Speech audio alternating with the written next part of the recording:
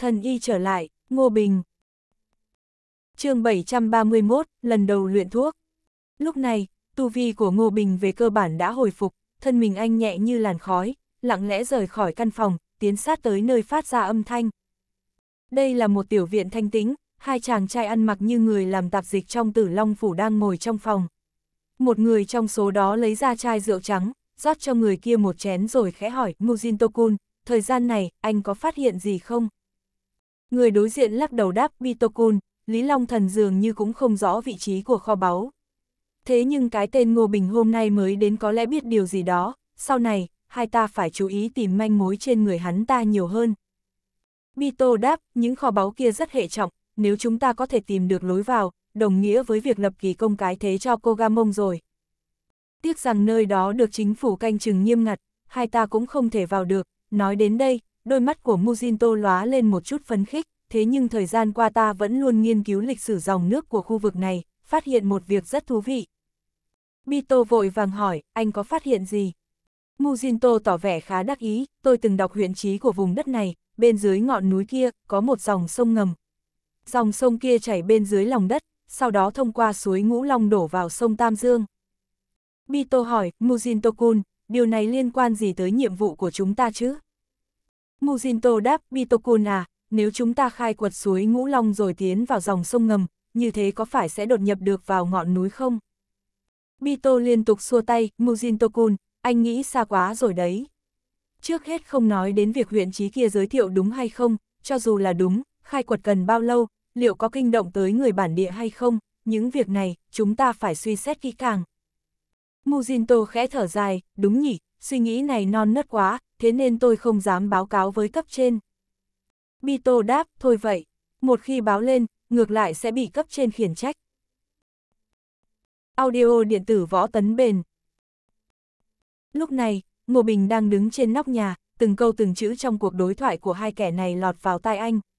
Không nằm ngoài dự đoán, người đông doanh vẫn luôn cải cắm gián điệp vào nơi này. Việc dòng chảy ngầm tồn tại bên dưới ngọn núi khiến anh thấy giật mình. Nếu phía đông doanh thực sự tiến vào lòng núi thông qua dòng sông ngầm thì đúng là không ổn. Anh suy tính trong chốc lát rồi đột ngột xông vào căn phòng, hai kẻ kia giật mình, đang định ra tay thì đột nhiên thấy đầu óc trống rỗng, sau đó ánh mắt cũng trở nên đờ đẫn, chỉ vài giây đã bị Ngô Bình điều khiển tâm trí. Dễ dàng biến hai kẻ này thành con rối, Ngô Bình hỏi, chúng mày là ninja của cô Gamong. Tên Bito kia đáp, đúng vậy. Ngô Bình hỏi, mục đích của chúng mày khi mai phục ở đây là gì? Bito đáp, điều tra tất cả thông tin liên quan tới ngọn núi kia, đồng thời tìm cách đột nhập vào bên trong. Ngô Bình hỏi, những thứ liên quan tới ngọn núi, chúng mày biết được bao nhiêu? Bito đáp, từ sách cổ đã biết được, ngọn núi này từng tỏa ra ánh sáng đỏ vào lúc nửa đêm, chiếu sáng nửa vùng trời, chúng tôi cho rằng trong núi nhất định có báu vật. Ngô Bình đã biết những thông tin này từ lâu, anh gật gật đầu, việc liên quan tới dòng sông ngầm, không được báo lên cấp trên, chúng mày tiếp tục ở lại đây, đừng để cô Gamong nghi ngờ chúng mày. Vâng, hai kẻ này đồng thanh đáp. Hai tên này tu vi không cao, chỉ là nhân vật tép diêu, Ngô Bình chẳng hứng thú gì với chúng nên sau khi điều khiển xong là rời đi luôn. Quay về tiểu viện, anh lấy tiên đỉnh thuần nhất ra tiếp tục nghiên cứu. Qua nhiều ngày không ngừng mày mò, anh đã nghiền ngẫm được kha khá cách sử dụng tiên đỉnh thuần nhất, phần còn lại chỉ là thành thạo thôi. Thế nhưng, muốn sử dụng đỉnh thuốc thuần thục thì phải thực hành. Trong tay mình có khá nhiều dược liệu, chỉ bằng luyện thử xem sao, anh thầm nghĩ. Trước đó, anh tìm thấy lượng lớn linh dược thánh dược ở trong núi, có không ít phương thuốc có thể dùng để luyện tập. Nếu đã luyện tập, tất nhiên phải luyện từ phương thuốc đơn giản nhất. Thứ anh thu hoạch được nhiều nhất ở trên núi là nhân sâm, sau đó tới linh chi, bởi vì hai thứ linh dược này phân bố khá nhiều trong tự nhiên, cũng dễ bắt gặp nhất. Tất nhiên, nhân sâm và linh chi với số tuổi lớn cũng rất hiếm. Trong tay anh có tới vài trăm gốc nhân sâm và linh chi, đúng lúc có thể lấy chúng ra để luyện tập. Anh suy tính trong chốc lát, quyết định luyện chế bồi nguyên tán. Dược liệu chính của bồi nguyên tán là nhân sâm 300 năm trở lên, ngoài ra cần thêm một số thảo dược bình thường là có thể luyện được. Anh dự trữ không ít thảo dược thường dùng ở không gian hắc thiên, có thể lấy ra bất cứ lúc nào. Anh đứng trước tiên đỉnh thuần nhất, tay vỗ vào một vị trí nào đó của đỉnh thuốc, đỉnh thuốc phun ra một luồng sáng. Ngô Bình bốc một cây nhân sâm hơn 300 năm dược lực bỏ vào trong. nhân sâm tiến vào đỉnh thuốc là tới thẳng một không gian gấp. Sau đó, với trận pháp và bố trí cơ giới phức tạp, nhân sâm ngay lập tức bị nghiền nát thành bột, mười mấy loại dược liệu chính trong thành phần mà anh cất giữ cũng được lấy ra, đồng thời được lưu vào trong các con nhộng khác nhau. Số lượng con nhộng cực kỳ nhiều, bên trong mỗi không gian chỉ ít có tới hàng vạn con nhộng, mỗi con nhộng có thể lưu trữ một loại thuốc. Sau đó, hai bỏ thêm 13 loại dược liệu vào đỉnh thuốc, chúng lần lượt được sử dụng dược tính hữu dụng, sau đó Ngô Bình tập hợp chúng lại. Quá trình luyện thuốc vô cùng tiêu hao thần niệm, 10 phút sau, một làn khói trắng bốc ra từ miệng đỉnh, bị Ngô Bình giơ tay tóm được, một số khói trắng co lại thành một loại thuốc bột, ước chừng hơn ba lạng. Anh dùng đầu lưỡi nếm thử một ít thuốc bột, sau đó nhắm mắt, cảm nhận dược lực của bồi nguyên tán. Ngay lập tức, anh cảm nhận được một thứ dược lực vô cùng tinh khiết. Nửa phút sau, anh mở mắt ra, kinh ngạc thốt lên, hiệu quả của thứ thuốc này, chỉ ít cũng phải tương đương với địa nguyên đan cấp 1. Điều này còn vì phẩm chất của bồi nguyên tán quá thấp, không thể nào đạt tới cấp bậc siêu cấp, nếu không, nó phải đạt tới trình độ của cấp vương, thậm chí cấp đế. Ngô Bình tiếp tục luyện đủ 3 lần, thần niệm tiêu hao nghiêm trọng, anh muốn luyện thêm đỉnh thuốc thứ tư, nhưng lực bất tòng tâm. Ba lần luyện thuốc, luyện ra được khoảng 5 lạng bồi nguyên tán. Bồi nguyên tán rất hữu hiệu với cơ thể của người bình thường, Ngô Bình quyết định sau này sẽ trộn chúng với sữa bột, để ông bà ngoại và ông nội uống một thời gian. Sau khi luyện thuốc, anh rất mệt mỏi, thế là lấy tinh thạch linh hồn ra hấp thu. Sau khi thần niệm khô cạn là thời điểm tốt nhất để hấp thu hồn lực. Khi trời sáng, Ngô Bình đã khôi phục được trạng thái tốt nhất, thần niệm của anh thậm chí còn mạnh thêm một vài phần. Khá lắm, tiểu thoái bệnh cuối cùng cũng qua rồi, anh mỉm cười. Thần chiếu bước vào phòng, chúc mừng chủ nhân thuận lợi vượt qua gian nan. Ngô Bình đáp, sau này còn đại thoái bệnh, đến lúc đó sẽ hung hiểm hơn nhiều. Thần chiếu nói, chủ nhân cắt nhân thiên tướng, nhất định có thể vượt qua thuận lợi. Ngô Bình đáp, được rồi, không cần nịnh tôi nữa. Lão thần, hôm nay chúng ta sẽ tới nhà Âu Dương. Thần chiếu đáp, chủ nhân, hôm qua tôi hỏi một ông bạn già, ông ấy nói nhà Âu Dương đã cắm rễ ở địa tiên giới rồi. Ngô Bình nhíu mày, nhà Âu Dương đã tiến vào địa tiên giới. Thần chiếu đáp, đúng vậy. Âu Dương Thánh Hoàng kia lọt vào danh sách 10 người đứng đầu của bảng nhân tiên, thành công tiến vào một môn phái lớn của địa tiên giới. Một người làm quan cả họ được nhờ, nhân cơ hội này, nhà Âu Dương sắp xếp không ít người tới địa tiên giới. Một thời gian nữa, nhà Âu Dương chắc chắn sẽ rất có tiền đồ. Ngô Bình hỏi, tinh nhuệ của nhà Âu Dương hiện giờ đều ở địa tiên giới. Thần chiếu đáp, Âu Dương Thánh Hoàng và những người nòng cốt hẳn là đều ở địa tiên giới. Ngô Bình cười khẩy, tốt lắm, tôi đang định tới địa tiên giới đây. chương 732, lần đầu tiến vào địa tiên giới. Đường môn đã thành lập phân bộ ở địa tiên giới, đường Thái Khang hy vọng anh có thể qua đó một chuyến. Và lại, trước kia anh đã muốn tới địa tiên giới xem thử rồi.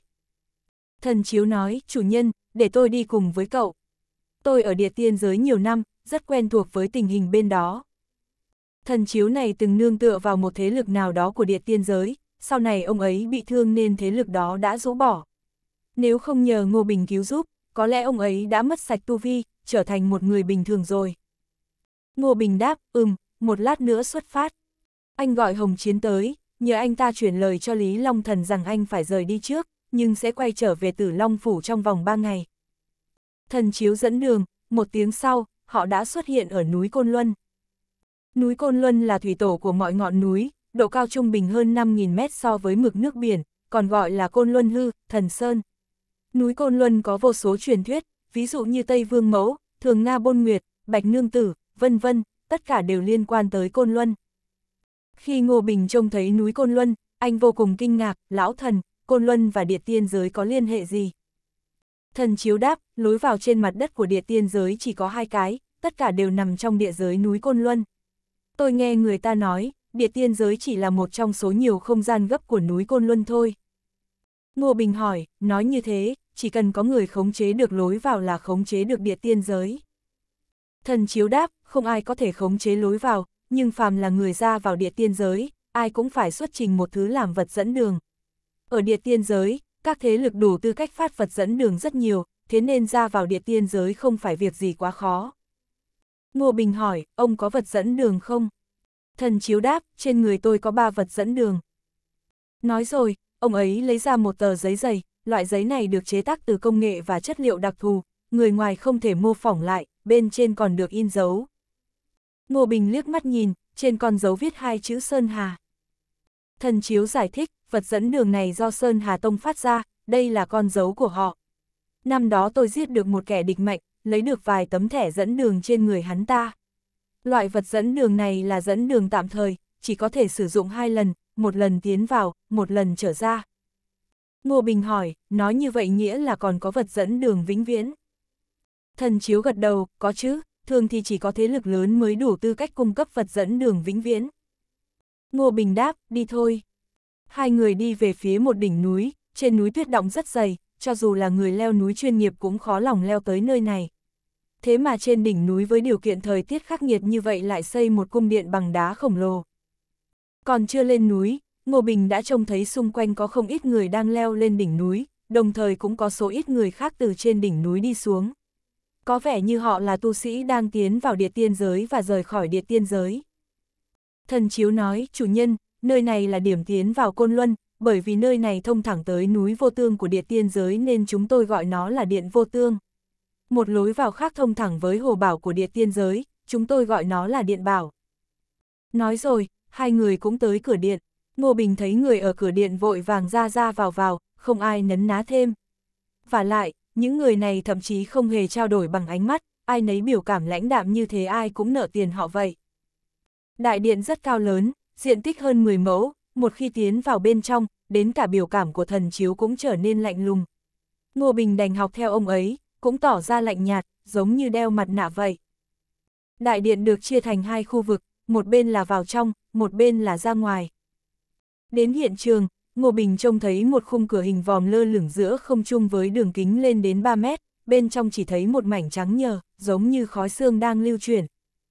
Hai bên cổng vòm có bốn người đứng canh, họ mặc áo bào rộng thùng thình lẫn hai màu đỏ và trắng, đeo mặt nạ gỗ màu đen. Mỗi người tiến vào cổng vòm đều phải xuất trình thẻ dẫn đường, nếu không không thể vào trong được. Thần chiếu không nói gì, bước tới đó giơ thẻ dẫn đường, một người trong số họ xua xua tay, ra hiệu cho ông ấy có thể vào trong.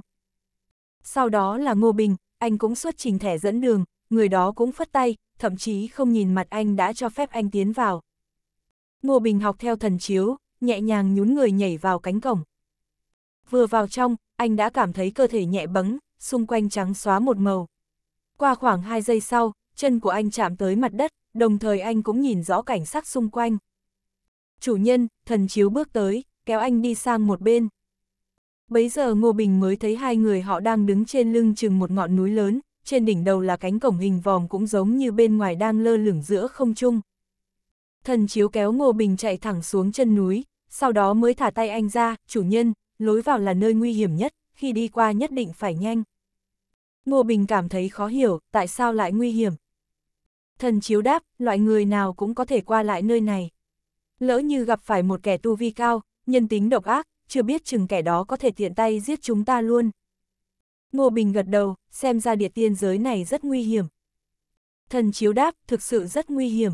Những kinh nghiệm này được đánh đổi bằng vô số lần trải nghiệm cảm giác đến gần cái chết của tôi đấy. Ngô Bình nói, chúng ta tới đường môn trước vậy, ông quen thuộc với nơi này, ông dẫn đường đi. Đường băng vân đã nói cho anh biết vị trí hiện tại của đường môn. Phân bộ của đường môn ở địa tiên giới nằm trên một khu đồi núi, khu vực đó được gọi là Vạn Long Lĩnh, trùng độc rất nhiều, không ít tu sĩ bất cần bỏ mạng ở đó. Đường Thái Khang chọn vị trí ở nơi đó cũng vì bất đắc dĩ, bất cứ nơi nào khá ổn ở địa tiên giới cũng bị người ta chiếm cứ mất, tất nhiên ông ấy không thể tranh giành, chỉ có thể tìm một nơi không ai ngó ngàng để dung thân rồi từ từ tìm đường phát triển. Thần chiếu biết vị trí của vạn long lĩnh, ông ấy đi trước dẫn đường, Ngô Bình theo sau. Vừa đi, Ngô Bình vừa quan sát địa hình xung quanh. Anh phát hiện ra, phong cảnh tự nhiên của địa tiên giới này khá giống bên ngoài, khác biệt ở chỗ thảm thực vật nơi này rậm rạp hơn, cây cối cao hơn, cỏ cũng xanh hơn. Ngoài ra, địa tiên giới có tồn tại một thứ linh khí nhàn nhạt, nhạt, linh khí ở nồng độ này đã đủ cho đa số tu sĩ tu luyện rồi. Phải biết rằng, muốn tìm được chút xíu linh khí nào ở bên ngoài cũng khó khăn. Đi được một đoạn, hai người ngồi xuống nghỉ ngơi. Lúc này xung quanh họ là một bờ sông, trên mặt đất có không ít đá tảng, họ bèn ngồi xuống một mỏm đá, ăn chút gì đó. Ăn xong, Ngô Bình thử tu luyện cách hít thở. Anh mừng rỡ phát hiện ra, ở địa tiên giới, anh có thể cảm nhận năng lượng cao cấp nhiều hơn bên ngoài rất nhiều. Và lại, số năng lượng này rõ rệt hơn nhiều, khi hấp thụ cũng nhanh hơn. Chẳng trách cao thủ ở địa tiên giới nhiều như vậy, môi trường ở nơi này tốt hơn bên ngoài nhiều, anh lầm bầm.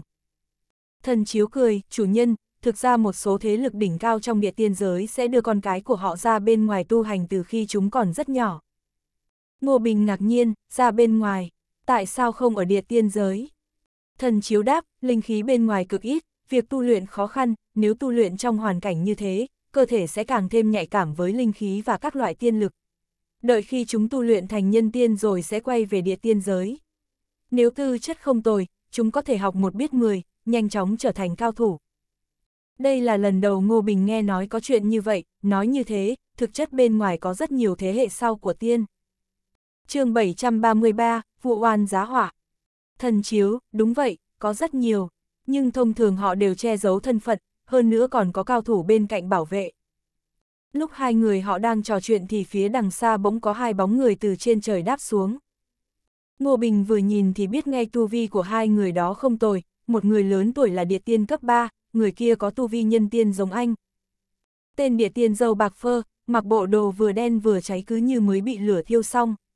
Lúc này ông ta lo lắng nhìn thanh niên đi cùng mình và nói, mau rửa mặt rồi chạy thôi. Người thanh niên tầm hai mấy tuổi, cũng rất thê thảm, quần áo rách dưới, đầu tóc cháy đen, anh ta quỳ xuống đất một cái thịt, nói, sư phụ, con có lỗi với thầy. Người đàn ông lớn tuổi phất tay, mau đi, mau đi đi. Người thanh niên khấu đầu ba cái rồi quay đầu bỏ chạy. Anh ta không phải địa tiên, không thể bay trong thời gian dài, có điều tốc độ chạy không hề chậm, thoáng chốc đã biến mất trong đám đông. Người đàn ông lớn tuổi thấy thanh niên đó đã đi xa rồi thì mới thở phào, quay đầu nhìn sang thần chiếu. Thần chiếu nhắm mắt, dường như không nhìn thấy gì. Ngô Bình cũng vậy, anh ngoảnh mặt đi, lặng lẽ ăn trái cây do Lam Nguyệt tặng. Người đàn ông lớn tuổi nhìn một lúc rồi đột nhiên tiến tới. Lúc ông ta còn cách mười mấy bước thì thần chiếu liền mở mắt ra, bình thản nói tiến thêm bước nữa thì ta sẽ ra tay đó. Người đàn ông lớn tuổi lạnh lùng đáp, tôi không có hứng thú đánh nhau với người lạ, tôi đến là để cảnh cáo hai người, tốt nhất đừng nên nói cho người khác biết chuyện lúc nãy hai cậu nhìn thấy. Thần chiếu thản nhiên đáp, ông yên tâm, bọn ta ghét nhất là lo chuyện bao đồng, ông muốn thì cứ giết đi. Người đàn ông lớn tuổi nhìn Ngô Bình và thần chiếu đăm chiêu rồi quay đầu nhìn về hướng người thanh niên đã bỏ chạy, sau đó chỉ tay, một luồng sáng màu xám cho liền bay ra.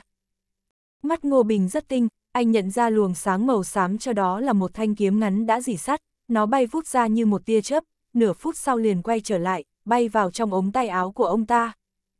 Ngô Bình thấy rất rõ, trên thanh kiếm ngắn đó có vết máu, lẽ nào ông ta đã giết chết người thanh niên lúc nãy? Người đàn ông lớn tuổi thu thanh kiếm ngắn lại thì thở dài, dẫm chân và bay lên không trung. Khi đến cảnh giới chân nhân thì việc bay lượn là việc khá nhẹ nhàng, hơn nữa còn có thể bay rất xa với tốc độ còn nhanh hơn cả máy bay. Sau khi người lớn tuổi đi, thần chiếu lập tức đứng dậy, nói chủ nhân, chúng ta mau đi thôi. Ngô Bình cũng không hỏi nhiều, cả hai nhanh chóng rời khỏi hiện trường. Họ đi chưa được một phút, người đàn ông lớn tuổi đó quay trở lại, chỉ có điều lần này ông ta dẫn theo một địa tiên có tu vi còn cao hơn mình đến. Người đàn ông lớn tuổi dâu bạc không thấy Ngô Bình và thần chiếu đâu, chợt hừ một tiếng rồi nói chạy cũng nhanh thật.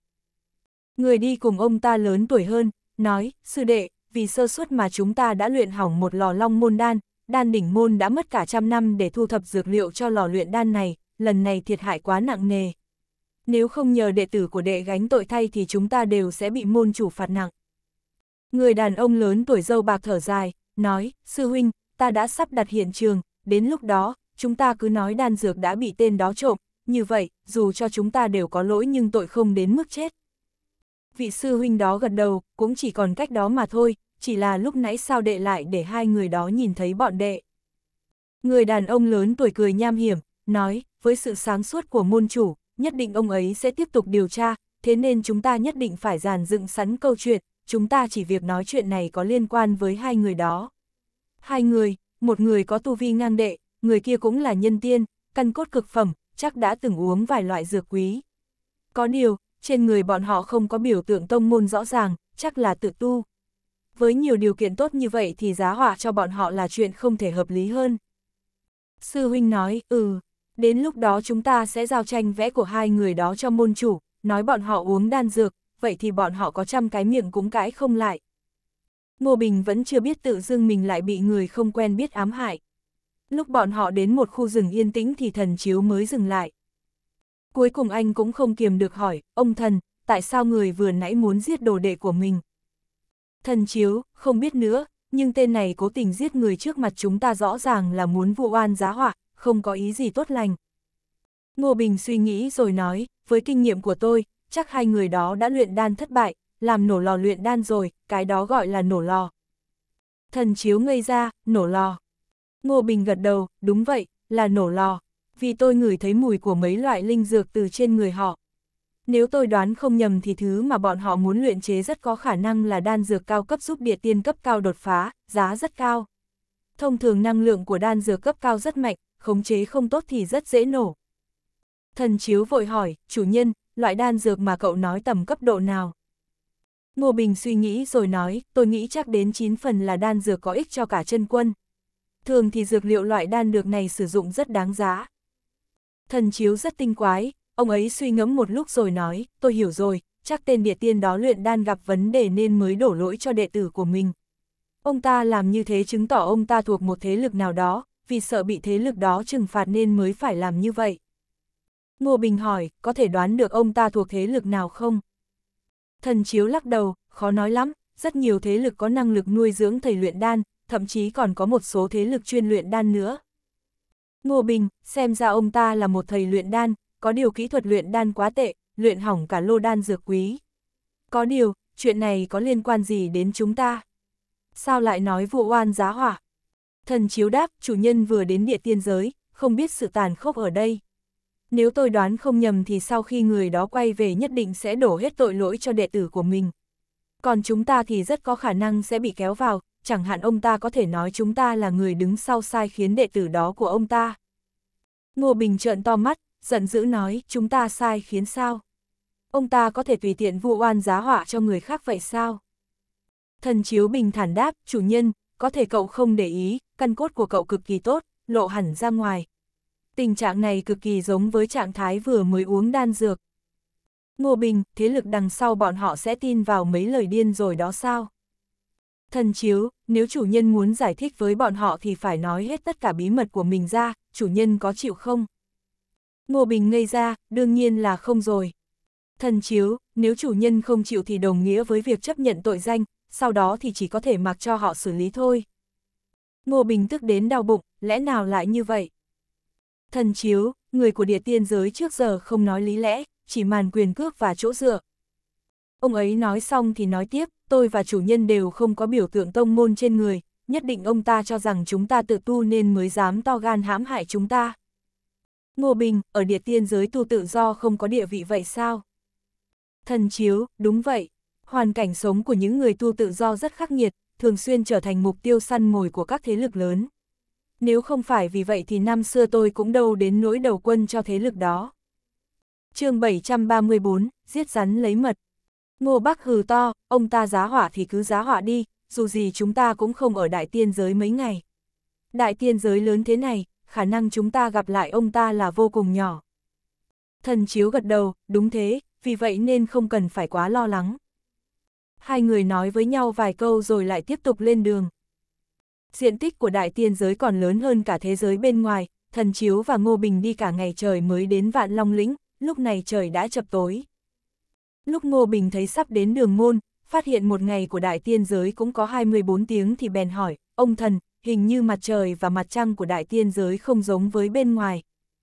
Anh cảm thấy ánh sáng mặt trời và mặt trăng ở đây đều có chứa linh lực.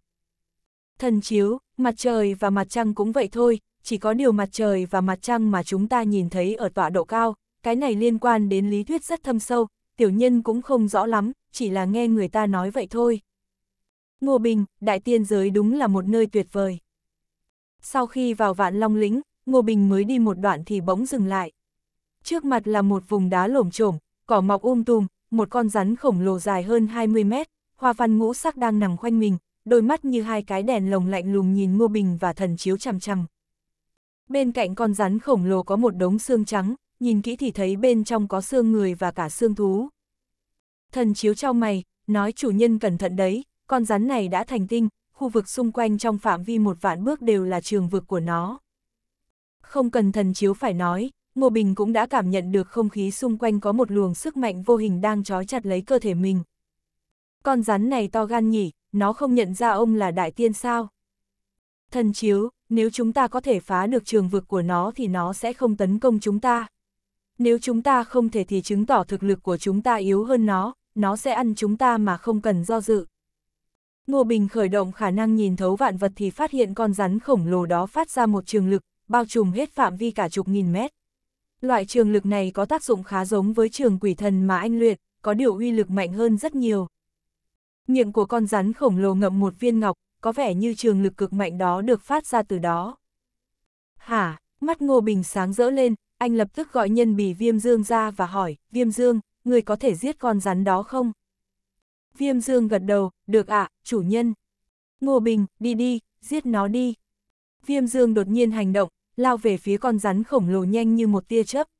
Có điều, lúc nó còn cách con rắn khổng lồ tầm 10 mét thì tốc độ của nó đã chậm lại. Càng đến gần con rắn khổng lồ thì trường lực càng mạnh, đến cả cao thủ như viêm dương cũng phải rất mất sức.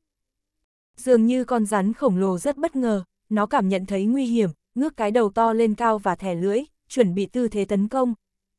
Da người của viêm dương đột một biến to ra, bao bọc lấy con rắn chỉ trong chớp mắt sau đó siết mạnh. Răng rác, tiếng gãy vang lên, đầu rắn nát vụn, thân rắn từ từ mềm nhũn ra, sau đó không còn động đậy.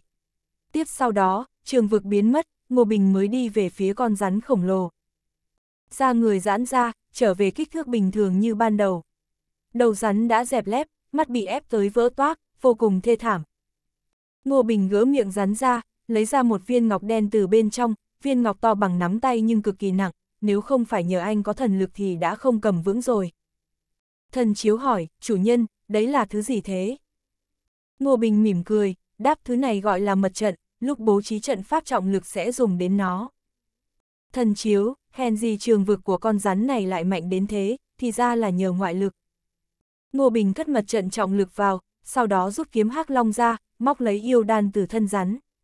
Viên yêu đan to bằng quả táo, bên trong có một con rắn nhỏ đang bơi lội. Anh cất yêu đan rồi tiếp tục lên đường. Trên đường đi anh gặp phải rất nhiều trùng độc, có con cua to bằng chiếc xe hơi, cũng có con rết to bằng toa tàu hỏa, còn có những con mũi hung dữ to hơn cả con người. Có vài thứ đến cả thần chiếu cũng không dám động đến, bọn họ quyết định chỉ bay trên trời. Không bao lâu, Ngô Bình và thần chiếu đáp xuống một thung lũng khá rộng, bên trong thung lũng có xây một số nhà cửa, sân vườn. Ngô Bình vừa đáp đất thì liền có một bóng người xông đến, đấy là đường hy trưởng lão, ông ấy mỉm cười, nói, thiếu tôn, cuối cùng thì cậu cũng đã đến. Ngô Bình nói, đường hy trưởng lão, tôi vẫn chưa phải là thiếu tôn, gọi tôi là Ngô Bình được rồi. Đường Hy nói, cậu trở thành thiếu tôn chỉ là chuyện sớm muộn, canh tổ đang họp trong điện, tôi dắt cậu qua đó. Mấy người họ đi ngang qua một quảng trường nhỏ mới xây, đi một đoạn thì vào trong đại điện. Cửa sổ của đại điện vẫn chưa được lắp thì đại điện đã được dùng rồi. Lúc này, rất nhiều nhân vật cấp cao của đường môn đều có mặt, đường Thái Canh ngồi ở giữa, đường Thiên Tuyệt đứng bên cạnh, bọn họ đang bàn luận chuyện gì đó. Ngô Bình vừa vào thì mọi ánh mắt đều đổ dồn về phía anh. Đường Thái Canh cười nói, Ngô Bình, cậu đến đúng lúc lắm, nào, đến ngồi bên cạnh tôi. Ngô Bình gật đầu, chào môn chủ canh tổ. Đường Thiên Tuyệt mỉm cười, nói, Ngô Bình, đang có chuyện muốn nói với cháu, mau ngồi xuống đi. Ngô Bình liền ngồi xuống bên trái đường Thái Canh, còn đường Thiên Tuyệt thì ngồi bên phải. Anh có thể ngồi vào vị trí đó chứng tỏ vị trí của anh trong lòng đường Thái Canh không thấp hơn đường Thiên Tuyệt. Đường Thái Canh vốn dĩ đang nói gì đó nhưng khi nhìn thấy Ngô Bình thì không nói nữa mà hỏi cậu lại đột phá nữa rồi à? Ngô Bình, canh tổ, tôi vừa trải qua tiểu thoái bệnh. Đường Thái Canh mỉm cười, nói tốt lắm, hy vọng cậu sớm ngày thành đại tiên. Ngô Bình, tôi sẽ cố gắng. Đường Thái Canh gật đầu, nói, lúc nãy bọn ta đang nói chuyện bảng nhân tiên. Bảng nhân tiên 3 năm được tổ chức một lần sắp diễn ra, cậu có hứng thú tham gia không? Ngô Bình chớp mắt, nói canh tổ, tôi từng nghe nói về bảng nhân tiên, sau khi tham gia thì sẽ có được lợi ích gì. Đường Thái Canh, bảng nhân tiên là ngày hội lớn mà tất cả tu sĩ cảnh giới nhân tiên trong đại tiên giới cũng như ngoài cảnh giới viêm long đều có thể tham gia. Nếu có thể giành được giải thì không chỉ được thưởng hậu hĩnh mà còn có thể được một vài thế lực đỉnh cao chú ý đến. Đường thiên tuyệt, ý của canh tổ là căn cơ của đường môn chúng ta còn yếu, muốn nhanh chóng đứng vững ở đại tiên giới thì nhất định phải dựa vào một thế lực nào đó. Nếu như cháu có thể lọt vào top 10 của bảng nhân tiên thì có thể nhẹ nhàng bước chân vào những môn phái cao cấp nhất. Vậy thì đường môn cũng sẽ được hưởng lợi theo. Ngô Bình hỏi, môn chủ, chắc muốn lọt vào top 10 của bảng nhân tiên khó lắm nhỉ? Đường Thiên Tuyệt gật đầu, vô cùng khó, trước giờ top 30 của bảng nhân tiên gần như đều bị thiên tài của ba thế lực lớn chiếm hết, người khác vốn không có cơ hội. Thỉnh thoảng có 4 năm người lọt được vào top 30, cũng nhanh chóng bị ba thế lực đó thu nhận, trở thành người của họ. Đường Thái Canh, cậu cố hết sức là được rồi, nếu không được ghi danh cũng không sao, sau này vẫn còn cơ hội. Ngô Bình không hứng thú với những nội dung sau đó của cuộc họp, anh thầm hỏi thần chiếu về ba thế lực lớn nhất ở đại tiên giới. Thần chiếu nói cho anh biết ba thế lực lớn nhất đó bao gồm kiếm phái Thục Sơn, thần chú môn và vạn ma tông. Trong ba thế lực lớn đó đều có một trận pháp dịch chuyển, từ đó có thể duy trì liên hệ với thế giới tu chân rộng lớn bên ngoài. Đấy là lý do chủ yếu giúp bọn họ trở thành những thế lực lớn mạnh nhất. chương 735, Hòa Linh Đan Ngoài ba thế lực hàng đầu thì cũng có một số thế lực rất mạnh, chẳng hạn như Bạch Cốt Môn, Hỗn Thiên Ma Tông, Đan Đỉnh Môn, Dược Tiên Môn, V, V. Ở địa tiên giới không có các quốc gia, bên dưới các thế lực lớn thiết lập các cơ quan chuyên quản lý dân chúng trong địa bàn. Lãnh thổ của các thế lực lớn khá rộng, chẳng hạn như lãnh thổ của Thục Sơn kiếm phái lớn hơn toàn bộ nước La Sát và nước Viêm Long cộng lại. Ngoài các thế lực lớn ở trên còn có một số thế lực nhỏ hơn, số lượng khá nhiều. Thậm chí còn có một số lượng lớn tán tu, giã tu, họ không có chỗ ở cố định. Sau khi thần chiếu giới thiệu xong tình hình của địa tiên giới, cuộc họp của đường môn cũng kết thúc. Tất cả mọi người đều ra về, chỉ có Ngô Bình và đường Thiên Tuyệt ở lại. Đường Thái Canh liếc nhìn thần chiếu, cười nói, Ngô Bình, cậu vẫn chưa giới thiệu người này. Ngô Bình, canh tổ, ông ấy là thần chiếu, người bảo vệ của tôi. Thần chiếu khẽ gật đầu, kính chào đường chân nhân. Đường Thái Canh, thần chân nhân khách sáo quá, mời ngồi. Thần chiếu liếc nhìn Ngô Bình, anh nói, ông thần, ngồi xuống nói chuyện đi. Sau đó thần chiếu mới ngồi xuống bên cạnh Ngô Bình, sau đó khẽ ngả người ra sau. Đường Thái Canh, Ngô Bình, ta và Thiên Tuyệt đã bàn bạc rồi, quyết định phong cho cậu trước đường soái 4 sao. Vốn dĩ ta muốn cho cậu 5 sao, nhưng đường môn chỉ có mình Thiên Tuyệt là 5 sao, cậu phải chịu thiệt thòi rồi. Ngô Bình cười nói, canh tổ và môn chủ rất hậu đãi tôi, tôi được yêu ái mà thấy ngại đấy. Đường Thiên Tuyệt cười nói, đừng khách sáo như vậy, nếu không phải có cháu chữa khỏi bệnh cho canh tổ thì đường môn không thể tiến vào địa tiên giới. Phải rồi, lần trước ông đã bảo băng vân nhờ cháu luyện chế một số dược liệu, cháu đã đồng ý rồi phải không? Ngô Bình gật đầu, chỉ cần tìm được hết dược liệu, bất cứ lúc nào cũng có thể luyện chế. Đường Thiên Tuyệt, băng vân nói rằng dược liệu sẽ được giao tới vào ngày mai hoặc ngày kia. Đường Thái Canh, cậu thực sự là ngôi sao may mắn của đường môn. Thiên Tuyệt, hãy thông báo rằng sau này Ngô Bình sẽ là thiếu tôn mới của đường môn. Đường Thiên Tuyệt cũng có ý định này, liền gật đầu, vâng, chuyện này ngày mai đệ tử sẽ thông báo. Sau đó, ông ấy chợt nghĩ ra điều gì, liền nói, Ngô Bình, đường môn có một tòa tiên phủ, truyền thừa năm xưa của tiên sinh Gia Cát cũng bắt nguồn từ đó. Hiện tại cháu đã là đường soái 4 sao, cháu có đủ tư cách để đi vào đó thử xem. Đường Thái Canh gật đầu, đúng vậy, năm xưa ta cũng đi vào, nhưng đáng tiếc năng lực của ta có hạn, không thu hoạch được nhiều. Nếu gần đây có thời gian, cậu có thể đến tiên phủ bất cứ lúc nào để thử sức.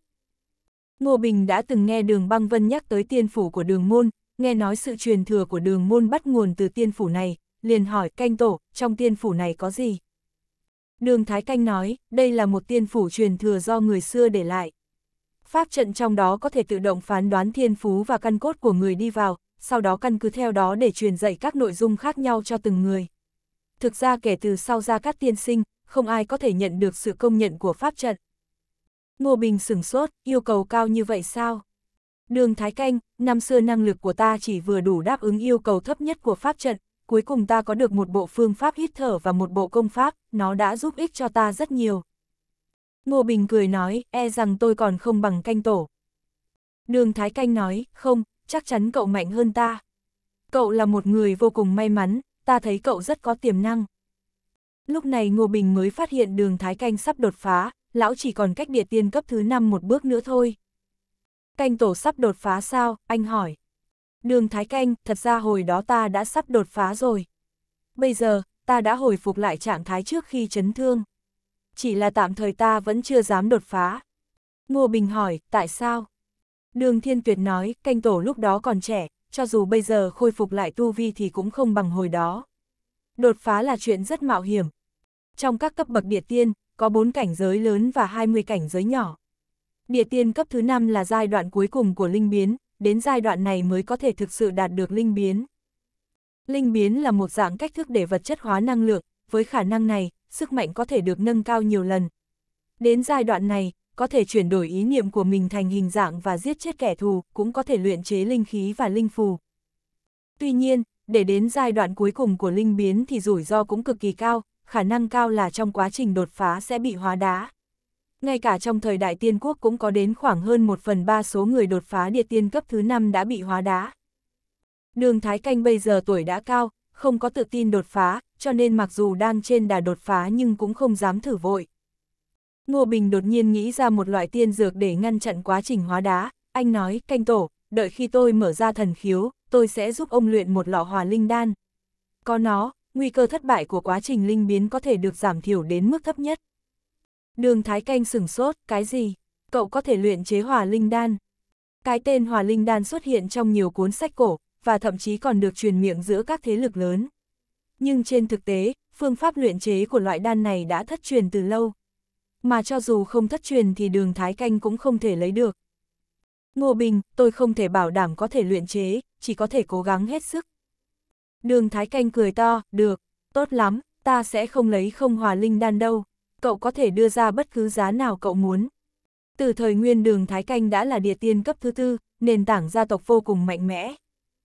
Ngô Bình cười nói, luyện chế hòa linh đan cần rất nhiều dược liệu, cảnh tổ có thể chuẩn bị trước, nếu ông không tìm được thì tôi sẽ tìm biện pháp khác.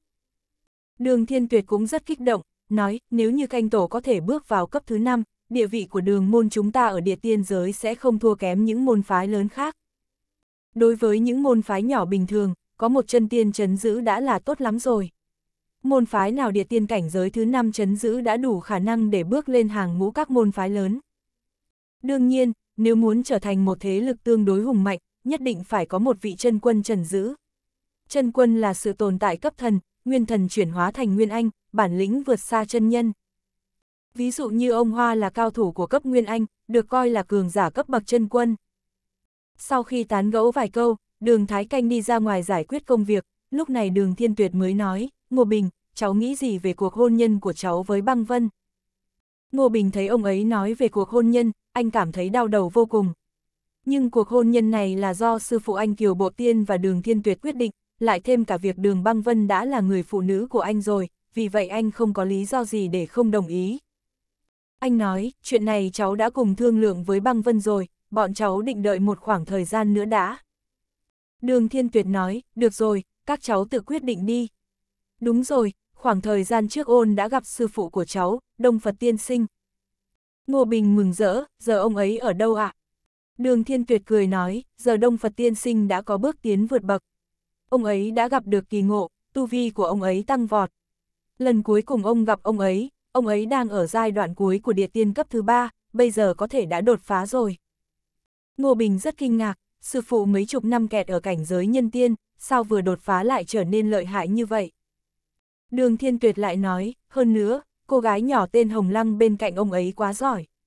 Cô ấy còn trẻ mà tu vi của cô ấy cực kỳ cao.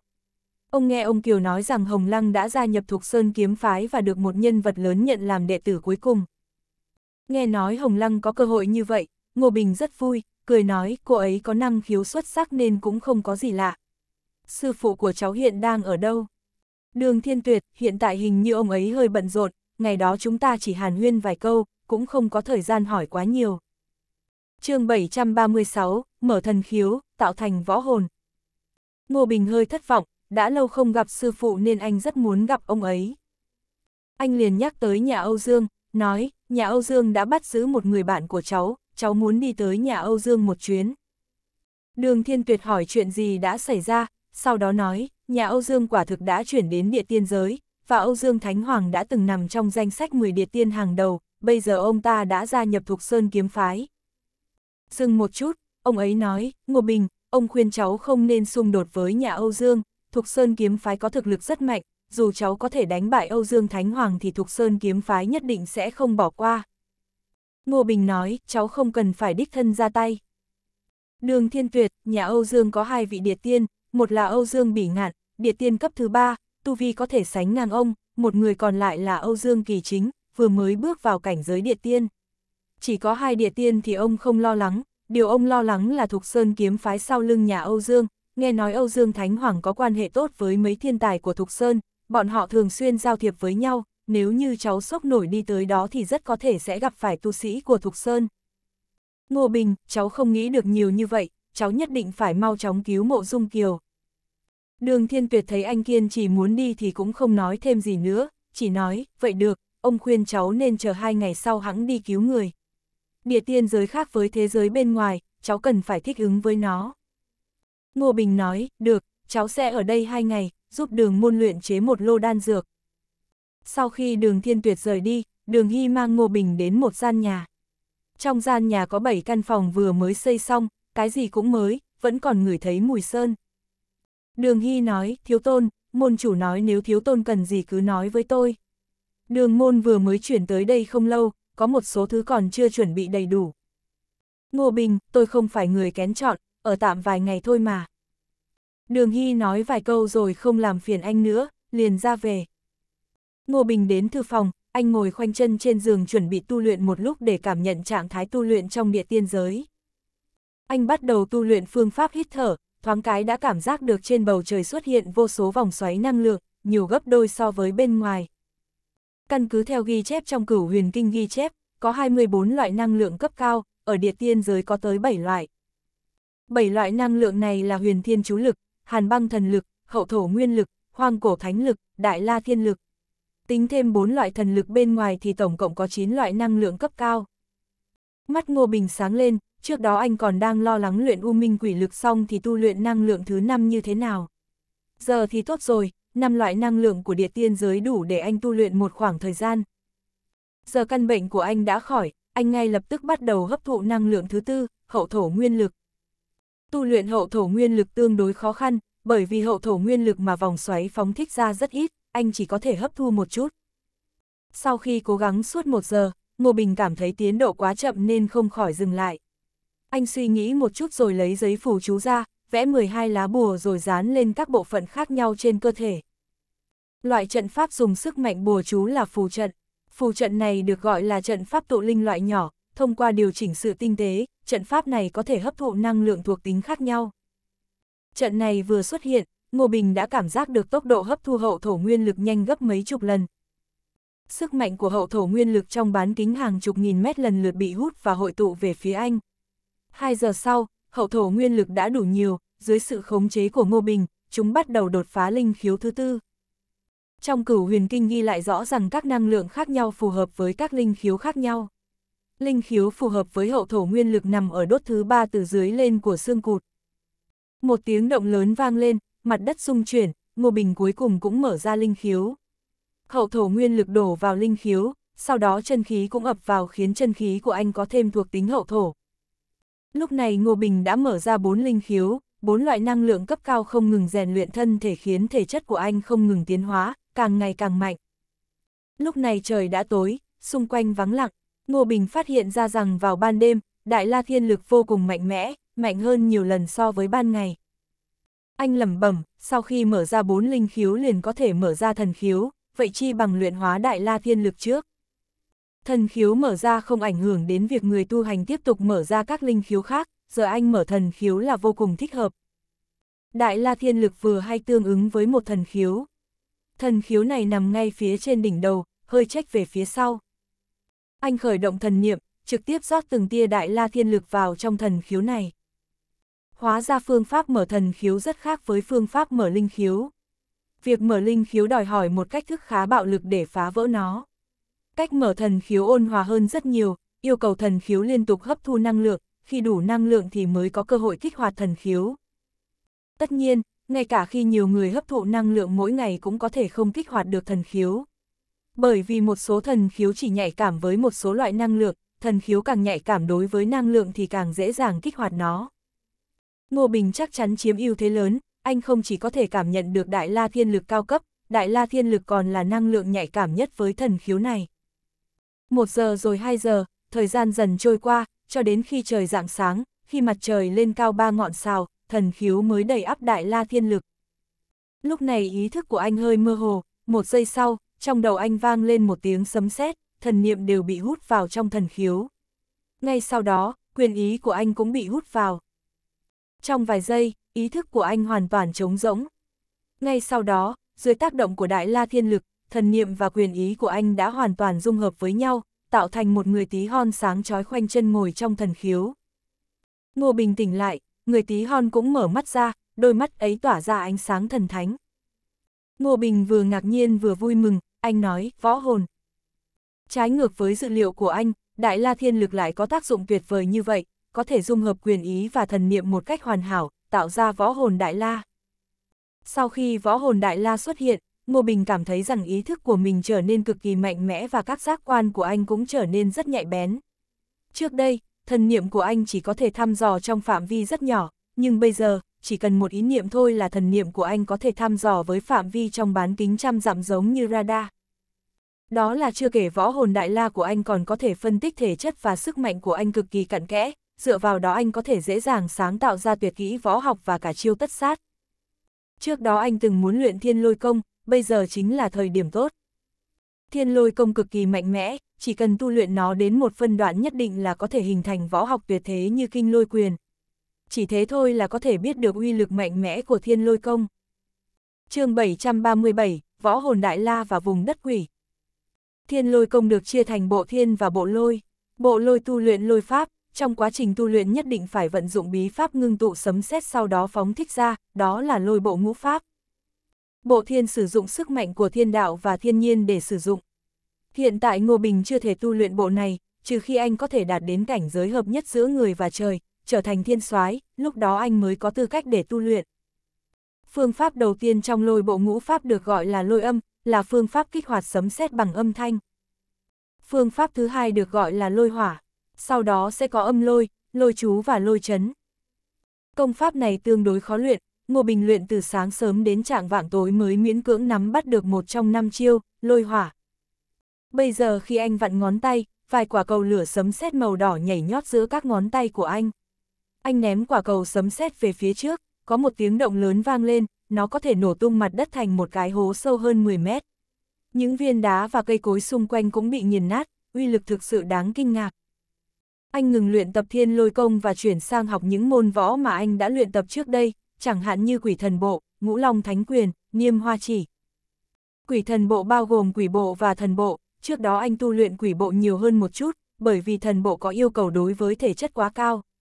Nhưng bây giờ anh dễ dàng tu luyện thần bộ, sau đó dung hợp với ngũ long thánh quyền và niêm hoa chỉ, từ đó hình thành tuyệt học và chiêu tất sát của chính mình.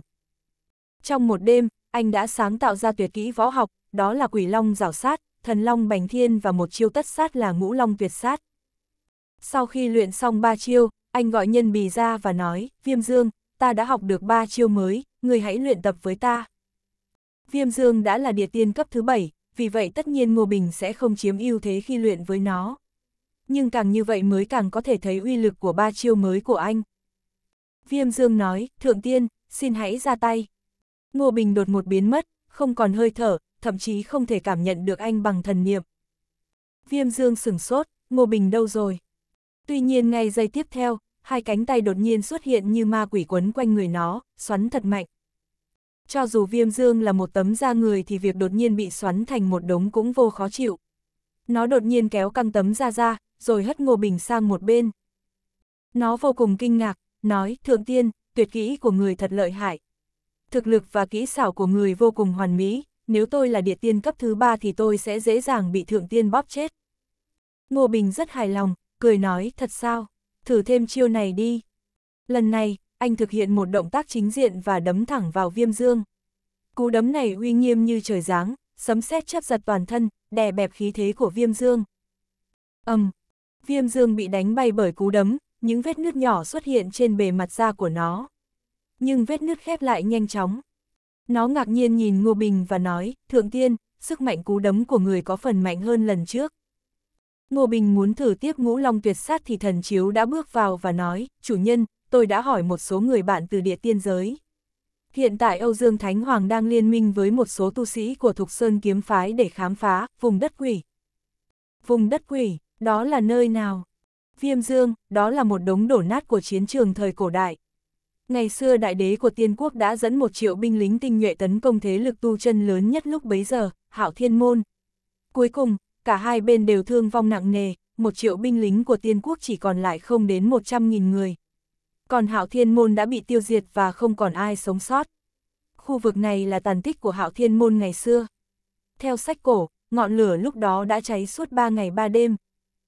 Nhưng kể từ ấy, nơi đó thường xuyên có quỷ quái xuất hiện, nó đã trở thành một nơi cực kỳ nguy hiểm. Ngô Bình, vậy đi tôi phải đến vùng đất quỷ gặp Âu Dương Thánh Hoàng.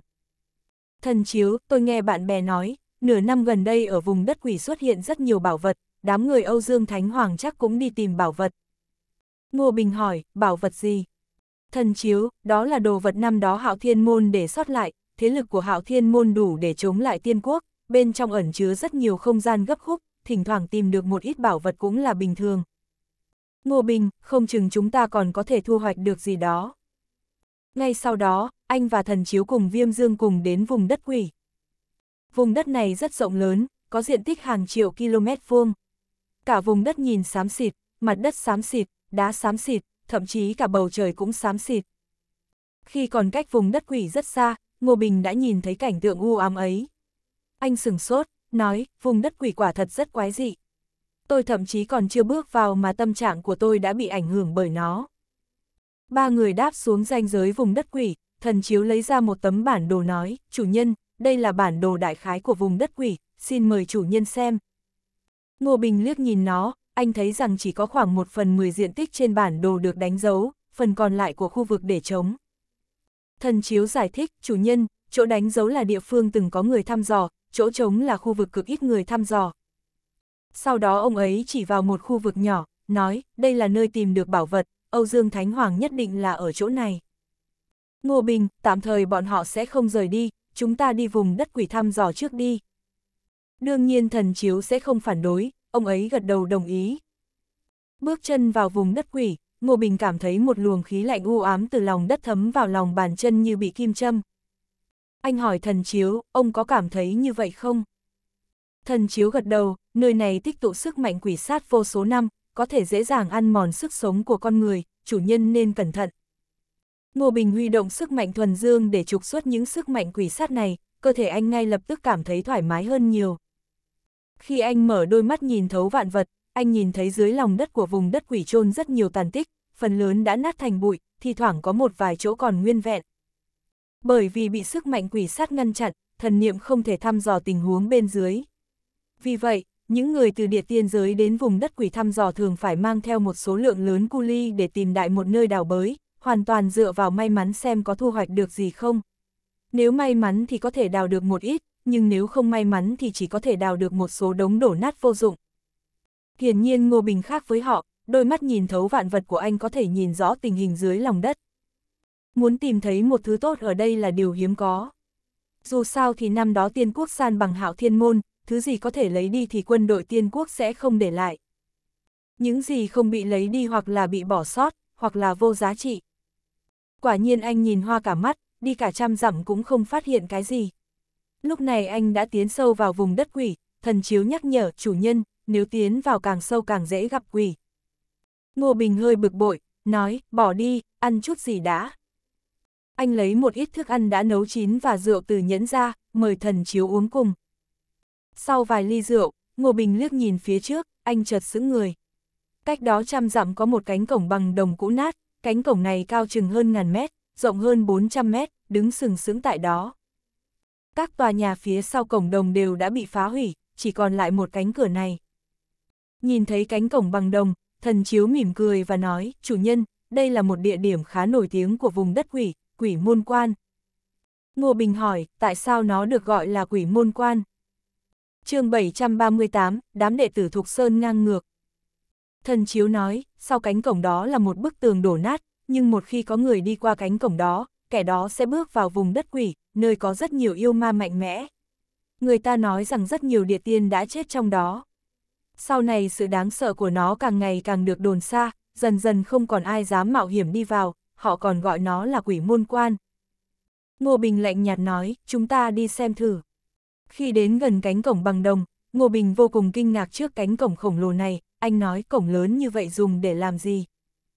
Thần chiếu, tôi cũng không biết rõ, nhưng trong sách cổ có một đoạn ghi chép, nói rằng tu sĩ tiền sử tu vi càng cao, thân thể sẽ càng lớn. Thiên tiên thời đó cao lớn và hùng vĩ như núi. Ông ấy nói điều này khiến Ngô Bình trầm ngâm, nói thân thể của các vị thiên tiên thực sự rất cao, nếu họ không kiềm chế cơ thể của mình, họ có thể dài tới hàng trăm dặm. Lúc này anh mở ra đôi mắt nhìn thấu vạn vật, khi tầm mắt xuyên thấu qua cánh cổng, anh không khỏi kinh hãi. Anh phát hiện phía sau cổng có ba tầng thời không, bên trong tầng thời không thứ nhất quả thực là một vùng đất quỷ, bên trong có rất nhiều yêu ma mạnh mẽ, tầng thời không thứ hai hơi mơ hồ, bên trong giường như trống không, chẳng có yêu ma. Anh còn phát hiện, nếu như dùng phương pháp thích hợp, anh có thể xuyên qua cánh cổng bằng đồng, trực tiếp tiến vào tầng thời không thứ hai. Về phần thời không tầng thứ ba, anh hoàn toàn không nhìn thấy bên trong xảy ra cái gì, nên tất nhiên không dám xông vào. Suy nghĩ một chút, anh đi tới cánh cổng đồng, vung tay trái lên không trung vài cái, từng luồng đại la thiên lực ngưng tụ trên không trung. Thứ anh vẽ là một lá bùa có thể tồn tại trên khoảng không trong một thời gian ngắn. Sau đó lá bùa anh vẽ trở nên sáng hơn và có ánh sáng màu tím chiếu ra từ bên trong cánh cổng bằng đồng, nó giống như một bức màn. Ngô Bình khẽ mỉm cười, anh biết mình đã thành công, chỉ cần xuyên qua bức màn là có thể tiến vào tầng thời không thứ hai bên trong quỷ môn quan. Họ vừa định đi vào thì có bốn người bước nhanh tới, chẳng mấy chốc đã đến trước cổng đồng. Họ kinh ngạc nhìn chằm chằm vào bức màn tím. Đây là cái gì? Một người hỏi. Ngô Bình khẽ cau mày, anh dùng tay phải thực hiện một thủ quyết, lá bùa ánh sáng trên không khẽ rung lên. Anh khó khăn lắm mới mở ra lối vào tầng thời không thứ hai, vì vậy tất nhiên anh không muốn để người khác được lợi. Hơn nữa anh vẫn chưa biết đây là thù hay là bạn. Trong số người đến, một thanh niên nói tôi nghe sư phụ nói rằng có cơ duyên cực lớn trong quỷ môn quan, chỉ những người có cơ duyên lớn mới có thể gặp được nó.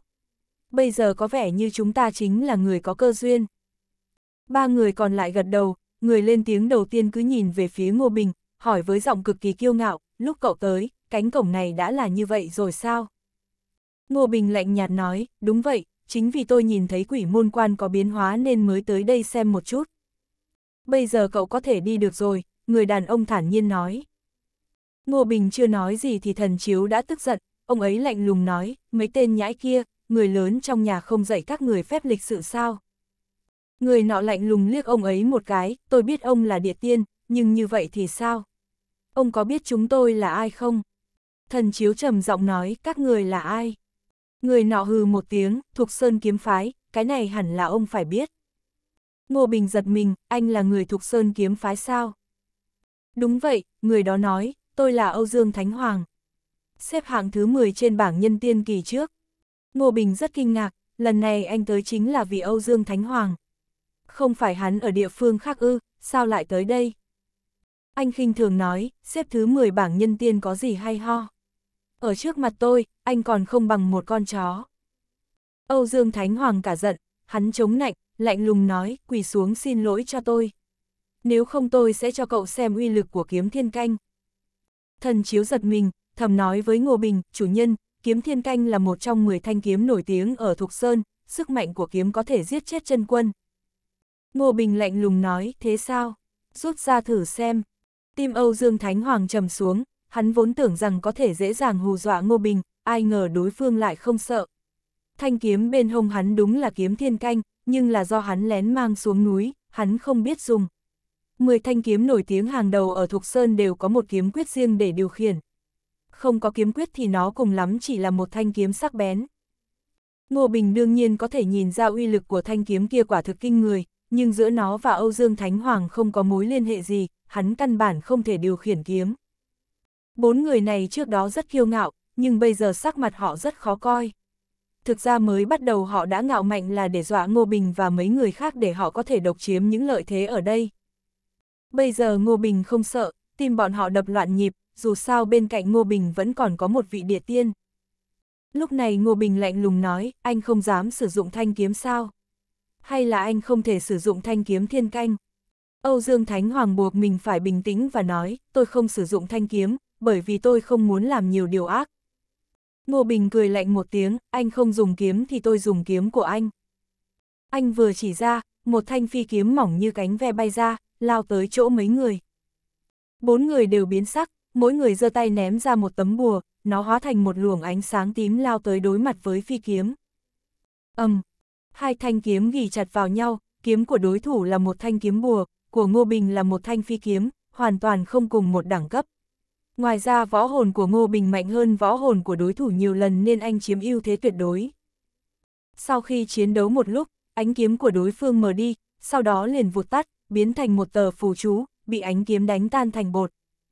Đi mau, Âu Dương Thánh Hoàng hét lớn một tiếng, bốn người tản ra bốn hướng chạy trốn.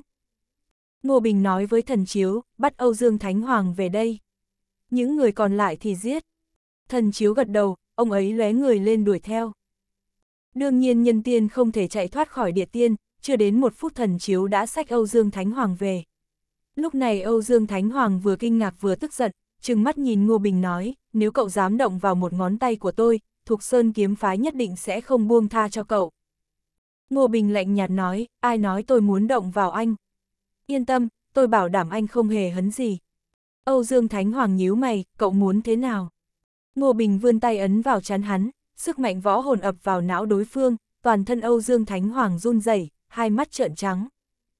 Sau khi niệm vài câu chú, Ngô Bình buông tay nói, Âu Dương Thánh Hoàng, từ nay về sau tôi sẽ là chủ nhân của anh. Anh sẽ là con rối của tôi. Vâng, thưa chủ nhân, ánh mắt Âu Dương Thánh Hoàng hơi mờ mịt, sau đó khôi phục lại bình thường, hắn cung kính đáp. Ngô Bình, mộ dung kiều ở trong tay anh sao? Âu Dương Thánh Hoàng, vâng. Cô ấy đang ở đâu? Âu Dương Thánh Hoàng, tôi đã giao cô ấy cho thiên long trưởng lão của Thục Sơn.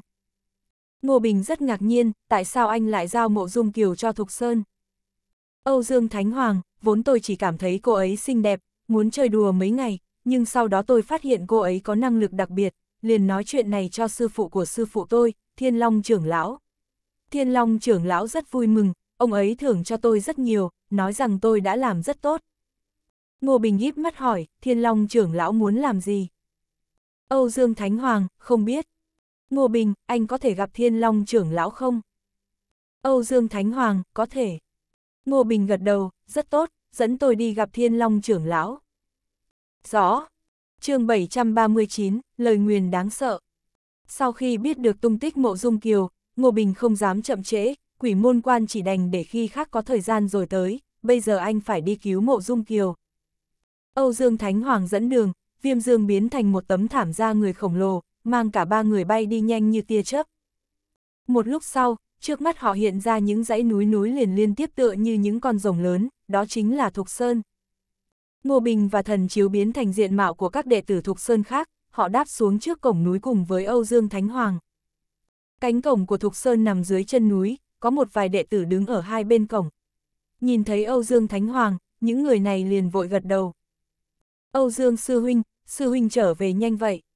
Âu Dương Thánh Hoàng, có chuyện nên trở về trước. Họ tiếp tục đi vào, rẽ qua một số ngọn núi và lên một đỉnh núi. Đỉnh núi này chính là nơi thiên long trưởng lão tu hành. Ngọn núi đầy hoa thơm cỏ lạ, tiên hạc linh thú. Trên đỉnh núi có hàng chục tòa kiến trúc cổ xưa. Âu Dương Thánh Hoàng có vẻ rất quen thuộc với người nơi đây, mấy đệ tử trên núi nhìn thấy hắn đều mỉm cười chào hỏi. Âu Dương, cậu tìm tổ sư có việc gì sao? Một người đàn ông trung niên ngăn họ lại, hỏi. Âu Dương Thánh Hoàng đã được Ngô Bình dạy cho một bài, hắn nói, Văn Sư Thúc, tôi có một chuyện rất quan trọng muốn bẩm báo với Thiên Long trưởng lão, việc này vô cùng trọng đại, xin người hãy bẩm báo. Lần trước Âu Dương Thánh Hoàng đưa tới một cô gái làm cho Thiên Long trưởng lão rất vui vẻ, thế nên người đàn ông này không nghi ngờ hắn, nói chờ một chút, tôi đi bẩm báo với trưởng lão. Nửa phút sau, ông ta quay lại, cười nói, trưởng lão mời cậu tới. Ba người đi vào trong một đại điện trống rỗng, một người đàn ông tóc tím khoanh chân ngồi ở giữa không trung, xung quanh có một luồng ánh kiếm hình rồng lượn lờ. Sức mạnh phát ra từ ánh kiếm đó khiến da đầu của Ngô Bình ngứa ran. Trên đường đi anh đã hỏi rồi, Thiên Long trưởng lão chính là cao thủ địa tiên cấp thứ 9. Uy lực phi kiếm của lão cực kỳ đáng sợ. Người đàn ông này nhìn còn rất trẻ, ước chừng 30 tuổi, rất đẹp trai, mặc gấm bào, mày kiếm mắt sáng, dung mạo như ngọc. Thiên Long trưởng lão khẽ cười, nói tiểu Âu Dương, cậu tìm ta có chuyện gì? Âu Dương Thánh Hoàng nói, tổ sư, đệ tử có chuyện quan trọng muốn bẩm báo với người. Đệ tử vừa đi đến vùng đất quỷ, phát hiện quỷ môn quan phát ra ánh sáng màu tím, đệ tử tò mò đi vào xem một chút, quả nhiên phát hiện bên trong không phải vùng đất quỷ mà là một thời không khác. Trong mắt thiên long trưởng lão lóe lên ánh sáng, hỏi, ồ, bên trong có cái gì? Bây giờ Ngô Bình đang giả làm một đệ tử khác của Thục Sơn, anh nói, đó là một tấm bia khổng lồ có khắc các vị tiên trên đó, chúng tôi không hiểu được. Thiên Long trưởng lão lập tức ngồi không yên, lão có dự cảm đây là cơ duyên của mình, liền cười nói các cậu làm rất tốt. Chờ ta ở đây, ta đi một chút sẽ quay trở lại. Bóng dáng Thiên Long trưởng lão liền biến mất, cũng không biết làm sao tới được nơi đó. Ngô Bình lập tức nói, Âu Dương Thánh Hoàng, mau tìm mộ dung kiều. Âu Dương Thánh Hoàng, phía dưới điện này có một gian phòng, mộ dung kiều hẳn là ở bên trong. Họ nhanh chóng tìm thấy lối vào và lao xuống lòng đất. Dưới lòng đất cũng là một cung điện, phía chính giữa cung điện có một cây cột đồng, mộ dung kiều đang bị trói vào đó. Cô ấy trông hốc hác và dường như đã phải chịu khổ rất nhiều. May mắn thay, cô ấy vẫn còn tỉnh táo. Cô không sao chứ, Ngô Bình vội hỏi, sau đó rút kiếm hắc long ra, cắt đứt mọi xiềng xích trói buộc cô ấy. Mộ Dung Kiều khẽ thở dài một tiếng, nói anh tới quá đúng lúc, tên thiên long kia rất xấu xa, hại tôi chết một lần. Ngô Bình nói, chỉ là chết một lần mà thôi, cô cũng không phải là chưa từng chết. Mộ Dung Kiều oán hận chừng mắt nhìn anh, anh nói như vậy thật quá đáng. Đột nhiên, sắc mặt của thần chiếu thay đổi rõ rệt, đôi mắt ông ấy dán chặt vào lối vào. Ngô Bình cảm thấy không ổn, khi anh quay lại, anh thấy Thiên Long đứng đó mặt không biểu cảm. Thần chiếu thấp giọng nói, chủ nhân, để viêm dương hộ tống chủ nhân rời đi, tôi sẽ chống đỡ ở đây. Tại sao ông lại rời đi? Ngô Bình thản nhiên nói, anh nhìn thẳng vào Thiên Long trưởng lão, Thiên Long tiền bối, thật xin lỗi, tôi đã lừa gạt ông.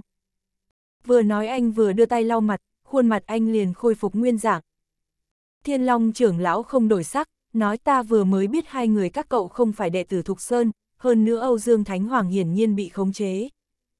Ngô Bình, tôi xin bội phục, tôi cứ tưởng tôi đã làm không một kẽ hở, thế mà tiền bối lại nhìn thấu.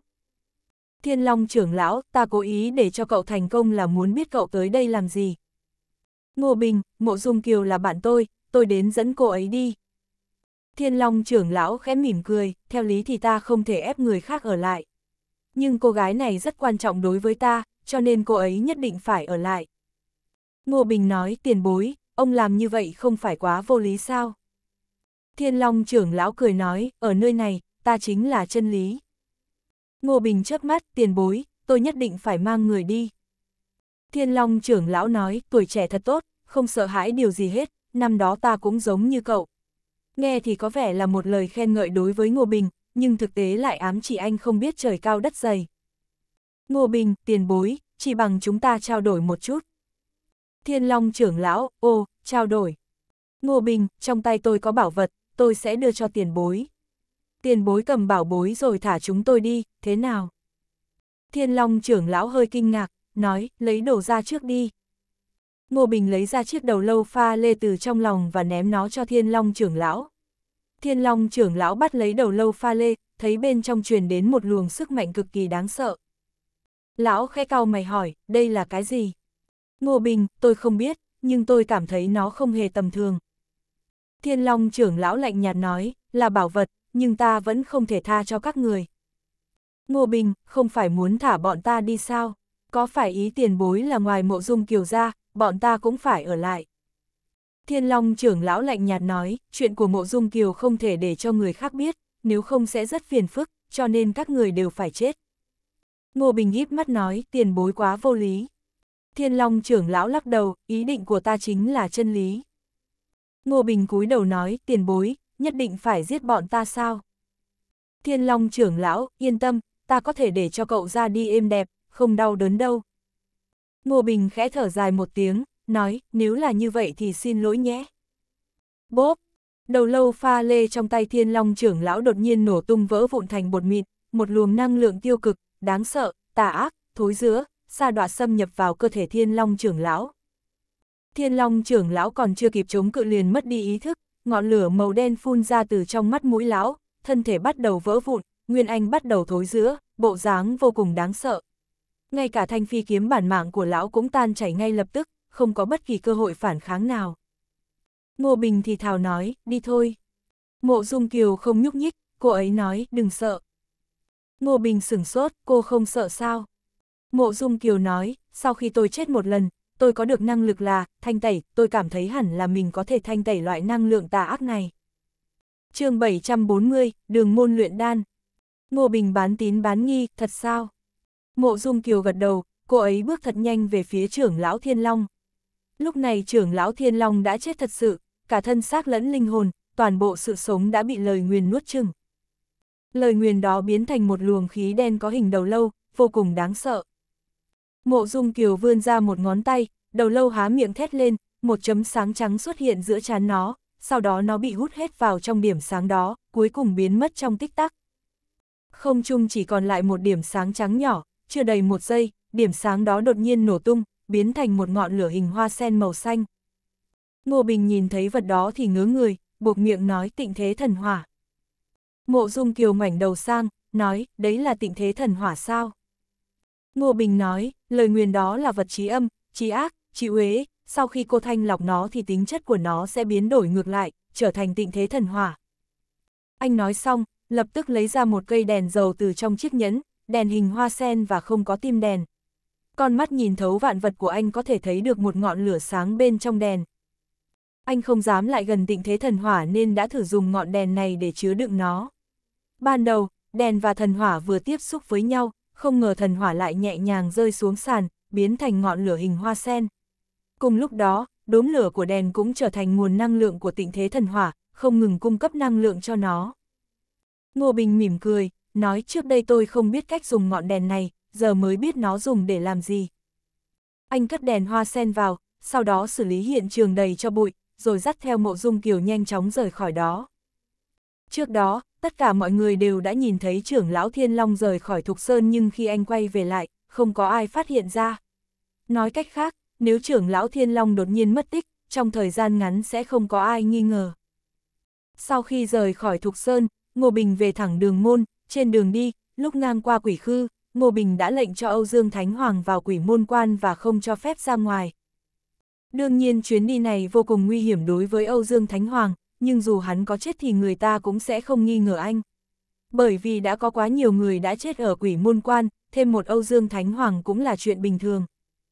Về đến đường môn, đường băng vân đã chờ Ngô Bình từ lâu, cô ấy đã thu thập đủ dược liệu cho Ngô Bình luyện đan. Sau khi sắp xếp ổn thỏa cho mộ dung kiều, anh mới tìm một chỗ yên tĩnh và bắt đầu luyện đan. Anh viết phương thuốc, có thể luyện chế hai loại luyện hình đan, gồm đại luyện hình đan và tiểu luyện hình đan. Tiểu luyện hình đan có công dụng yếu hơn một chút, đại luyện hình đan thì mạnh hơn. Ngoài ra còn một loại trúc cơ đan, cuối cùng là một loại đan dược có thể giúp tiên thiên thăng cấp lên nhân tiên, gọi là linh cảm đan. Uống loại đan này có thể nâng cao sự nhạy bén về cảm ứng năng lượng không gian của tu sĩ, nâng cao khả năng thăng hạng lên nhân tiên. Trong tất cả đan được, quý nhất là linh cảm đan, tỷ lệ tu sĩ tiên thiên bình thường cảm ứng được năng lượng không gian rất hiếm, người có tư chất tốt cũng chỉ có một đến hai phần cơ hội, phần lớn cả đời đều dừng lại ở cảnh giới tiên thiên. Nhưng linh cảm đan lại có thể giúp nâng cao khả năng một tu sĩ tiên thiên bình thường cảm ứng được năng lượng không gian lên đến 3 phần. Mặc dù chỉ có 3 phần nhưng vẫn mạnh hơn nhiều những tu sĩ hoàn toàn không có cơ hội. Ngô Bình lấy lò luyện đan ra và bắt đầu luyện đan. Mẻ thứ nhất anh luyện tiểu luyện hình đan, loại đan này rất dễ luyện, đan thành nhị phẩm, một mẻ được 9 viên. Mẻ thứ hai anh luyện đại luyện hình đan vẫn là đan thành nhị phẩm, một mẻ 6 viên. Lô thứ ba anh bắt đầu luyện trúc cơ đan, loại đan này có thể giúp tăng cấp lên cảnh giới tiên thiên, mặc dù giá trị không bằng linh cảm đan nhưng cũng là thứ mà rất nhiều người mơ ước. Trúc cơ đan, đan thành nhất phẩm, một lò 4 viên. Anh nghỉ ngơi một lúc rồi lại bắt đầu luyện linh cảm đan. Muốn luyện được linh cảm đan thì bản thân anh cần phải đạt đến cảnh giới linh cảm trước, nếu không thì sẽ không luyện được loại đan này. Lần này anh đã mất một tiếng đồng hồ mới luyện được mẻ đan dược này. Lò đan mở ra, anh lấy được ba viên linh cảm đan, đan thành nhất phẩm. Có điều Ngô Bình có hơi không hài lòng, lẩm bẩm trong miệng, sau khi học luyện đan, kỹ năng luyện đan của mình đã nâng cao đáng kể nhưng sao vẫn không luyện được đan dược vương cấp. Lúc này đã là sáng sớm ngày thứ hai, đường băng vân chạy đến gõ cửa. Chồng ơi, luyện được mấy lô đan dược rồi. Ngô Bình đáp, băng vân, em vào đây. Lúc đường băng vân bước vào phòng thì nhìn thấy mấy bình đan dược đặt trên bàn. Mắt cô ấy sáng lên, vui mừng hỏi, đã luyện được mấy loại. Ngô Bình, mỗi thứ được một lò, em cầm sang cho canh tổ xem thử. Đường băng vân gật đầu mạnh, được, em đi ngay. Ngô Bình, đưa đan dược đi xong thì ghé lại tìm anh. Đường băng vân gật đầu, cầm bình đan dược và nhanh chóng rời đi. Ngô Bình luyện đan hết cả đêm nên rất mệt, anh nằm bẹp xuống chiếc ghế nằm bên cạnh, đợi đường băng vân quay lại để cô ấy giúp anh xoa bóp. Anh nằm chờ cả buổi, không đợi nổi nữa nên ngồi dậy định ra ngoài. Lúc vừa đi đến cửa, tiếng đường thái canh bên ngoài sân vọng vào. Ngô Bình, anh vội đẩy cửa ra, tức khắc thấy đường thái canh mặt mày hớn nở bước vào, vừa đến là lão vỗ mạnh vai anh mấy cái rồi nói, đan dược cậu luyện tuyệt lắm. Ngô Bình, chỉ là mới bắt đầu, sau này vẫn còn có thể cải thiện. Đường thái canh nghiêm nghị nói, phẩm cấp của đan dược phải giảm xuống một chút, không được luyện quá cao. Ngô Bình ngây ra, tại sao? Giảm phẩm cấp thì lãng phí dược liệu quá. Đường Thái Canh nói, đương nhiên cậu có thể luyện đan dược phẩm chất tốt hơn nhưng chúng ta giữ lại đan dược tốt để dùng, những loại có phẩm cấp kém thì đem bán. Đường băng vân đứng phía sau nói, chồng, ý của canh tổ là không thể để người ngoài được hời, đồ tốt là của đường môn chúng ta. Hơn nữa, nếu để bên ngoài biết chúng ta có một thầy luyện đan biết luyện được đan dược nhất phẩm thì sẽ khiến anh gặp nguy hiểm. Ngô Bình suy nghĩ một lát rồi gật đầu, nói thôi được, sau này tôi sẽ luyện hai loại đan dược, một loại tam phẩm, tứ phẩm và một loại nhất phẩm, nhị phẩm. Đường Thái Canh nói, ở địa tiên giới, đan dược tứ phẩm đều khá hiếm, tam phẩm thông thường chỉ xuất hiện ở hội đấu giá, sau này cậu luyện nhiều đan dược tứ phẩm, đồng thời luyện thêm một ít đan dược ngũ phẩm và tam phẩm. Đường Băng Vân nói, canh tổ, người đã từng nói toàn bộ thu nhập từ việc luyện đan đều là của Ngô Bình. Canh tổ cười nói, ta nói lời giữ lời, sau này thu nhập từ việc bán đan dược do Ngô Bình luyện đều là của cậu ấy. Đan dược mà đường môn chúng ta dùng sẽ giảm nửa giá so với thị trường, hai người thấy sao? Đường băng vân liền nói, canh tổ, giảm 50% hơi nhiều thì phải. Nhiều nhất giảm 30% thôi, không thể hơn được nữa. Đường thái canh cạn lời, nói, băng vân, mặc dù có câu nói con gái gả chồng như nước đổ khó hốt nhưng cũng không thể chỉ biết có ngô bình thế chứ, 40% đi, 30% thì đắt quá. Đường băng vân mỉm cười, nói, được, vậy giảm 40%, sau này con sẽ ghi sổ những đan dược được lấy từ chỗ của Ngô Bình. Đường Thái Canh lắc đầu, nói ầy, sớm biết thế này thì tôi đã bàn riêng với Ngô Bình rồi. Đường Thái Canh nói mấy câu rồi đi vội, lão có đan dược thì đương nhiên phải nghĩ cách nhanh chóng đánh bóng tên tuổi cho đường môn. Đường Thái Canh vừa đi, Ngô Bình nhìn ngang nhìn dọc rồi kéo đường băng vân vào phòng, ôm lấy cô ấy, băng vân, anh buồn ngủ, nằm với anh một lát đi. Đường băng vân đỏ mặt, để tối đi, bây giờ là ban ngày, em vẫn còn công việc. Ngô Bình không thèm quan tâm cô ấy nói gì, bế bổng người rồi đặt lên ghế nằm. Vừa mới cởi đồ thì liền nghe bên ngoài có người ho. Anh giận dữ hét lên, ai đó. Tiếng mộ dung kiều truyền vào, anh ra đây, tôi có chuyện muốn nói với anh. Ngô Bình vuốt ve nhẹ nhàng cơ thể đường băng vân, cô ấy đỏ mặt rồi nhảy xuống giường, mở cửa ra. Bên ngoài cửa, khí chất của mộ dung kiều đã hoàn toàn khác với trước đây, trong đôi mắt cô ấy mang tiên khí không nhuốm bụi trần. Anh giật mình, lắp bắp hỏi cô. Mộ dung kiều thản nhiên nói, đúng vậy, tôi đã hồi phục, lần này đến là để chào tạm biệt chương 741, tôi đi đây. Ngô Bình tự dưng thấy hơi căng thẳng, anh lùi lại mấy bước, cung kính chắp tay trước mộ dung kiều, vãn bối bái kiến tiên tôn. Mộ dung kiều cười như không cười, nhìn anh và nói, chúng ta thật sự có duyên, nếu không nhờ anh thì có lẽ tôi còn phải rèn luyện thêm vài năm ở phàm trần nữa. Ngô Bình vội hỏi, tiền bối đến từ đâu? Mộ Dung Kiều, sau này chúng ta sẽ còn gặp lại, đến lúc đó anh sẽ biết. Trước khi đi tôi cũng chẳng có gì tặng anh, thôi thì tặng anh ba lá bùa vậy. Cô ấy đưa cho Ngô Bình ba chiếc lá xanh mơn mởn, lúc cầm chiếc lá trên tay anh mới cảm nhận được bên trên có chứa năng lượng vô cùng kỳ diệu. Anh cẩn thận nhận lấy lá cây, mỉm cười rồi nói, tiền bối, ba lá bùa này dùng thế nào? Mộ Dung Kiều bình thản đáp, đừng gọi tôi là tiền bối nữa, gọi tỷ tỷ đi.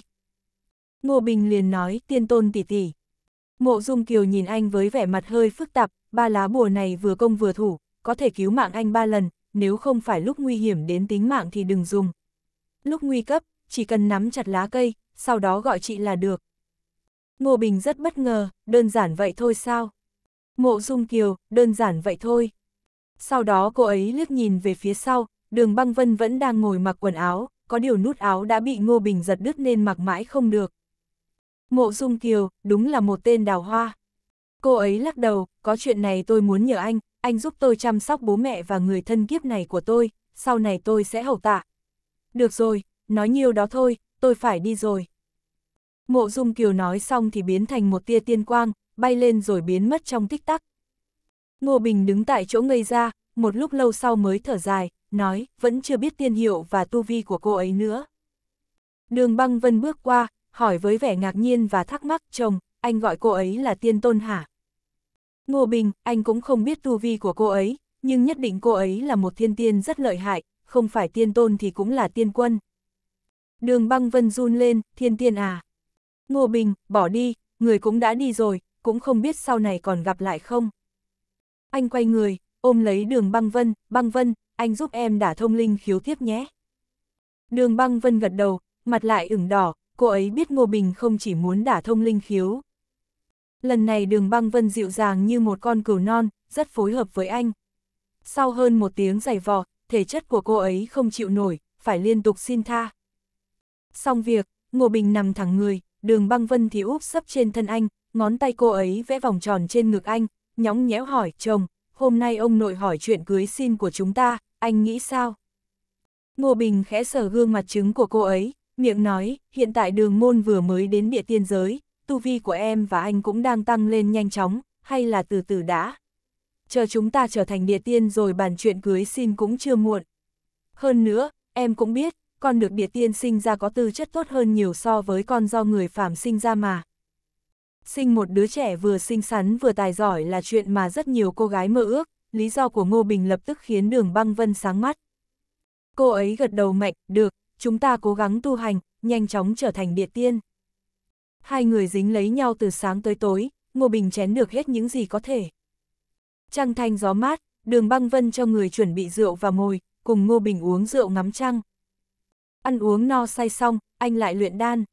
Lần này, anh luyện 4 lò tiểu luyện hình đan, hai lò đại luyện hình đan, một lô trúc cơ đan, một lò linh cảm đan. Tất cả đan được đều là đan thành tứ phẩm, hoặc tam phẩm, ngũ phẩm. Lúc chuyên tâm thì không để ý thời gian, khi anh ra khỏi phòng luyện đan đã là chiều ngày hôm sau. Đường băng vân không có ở đó, anh hơi mệt nên muốn đi dạo loanh quanh. Anh chưa đi được mấy bước thì cảm giác huyền vũ trong túi đang động đậy, anh lấy nó ra, cười hỏi, người cũng muốn ra ngoài vận động à? Huyền Vũ gật gù cái đầu nhỏ.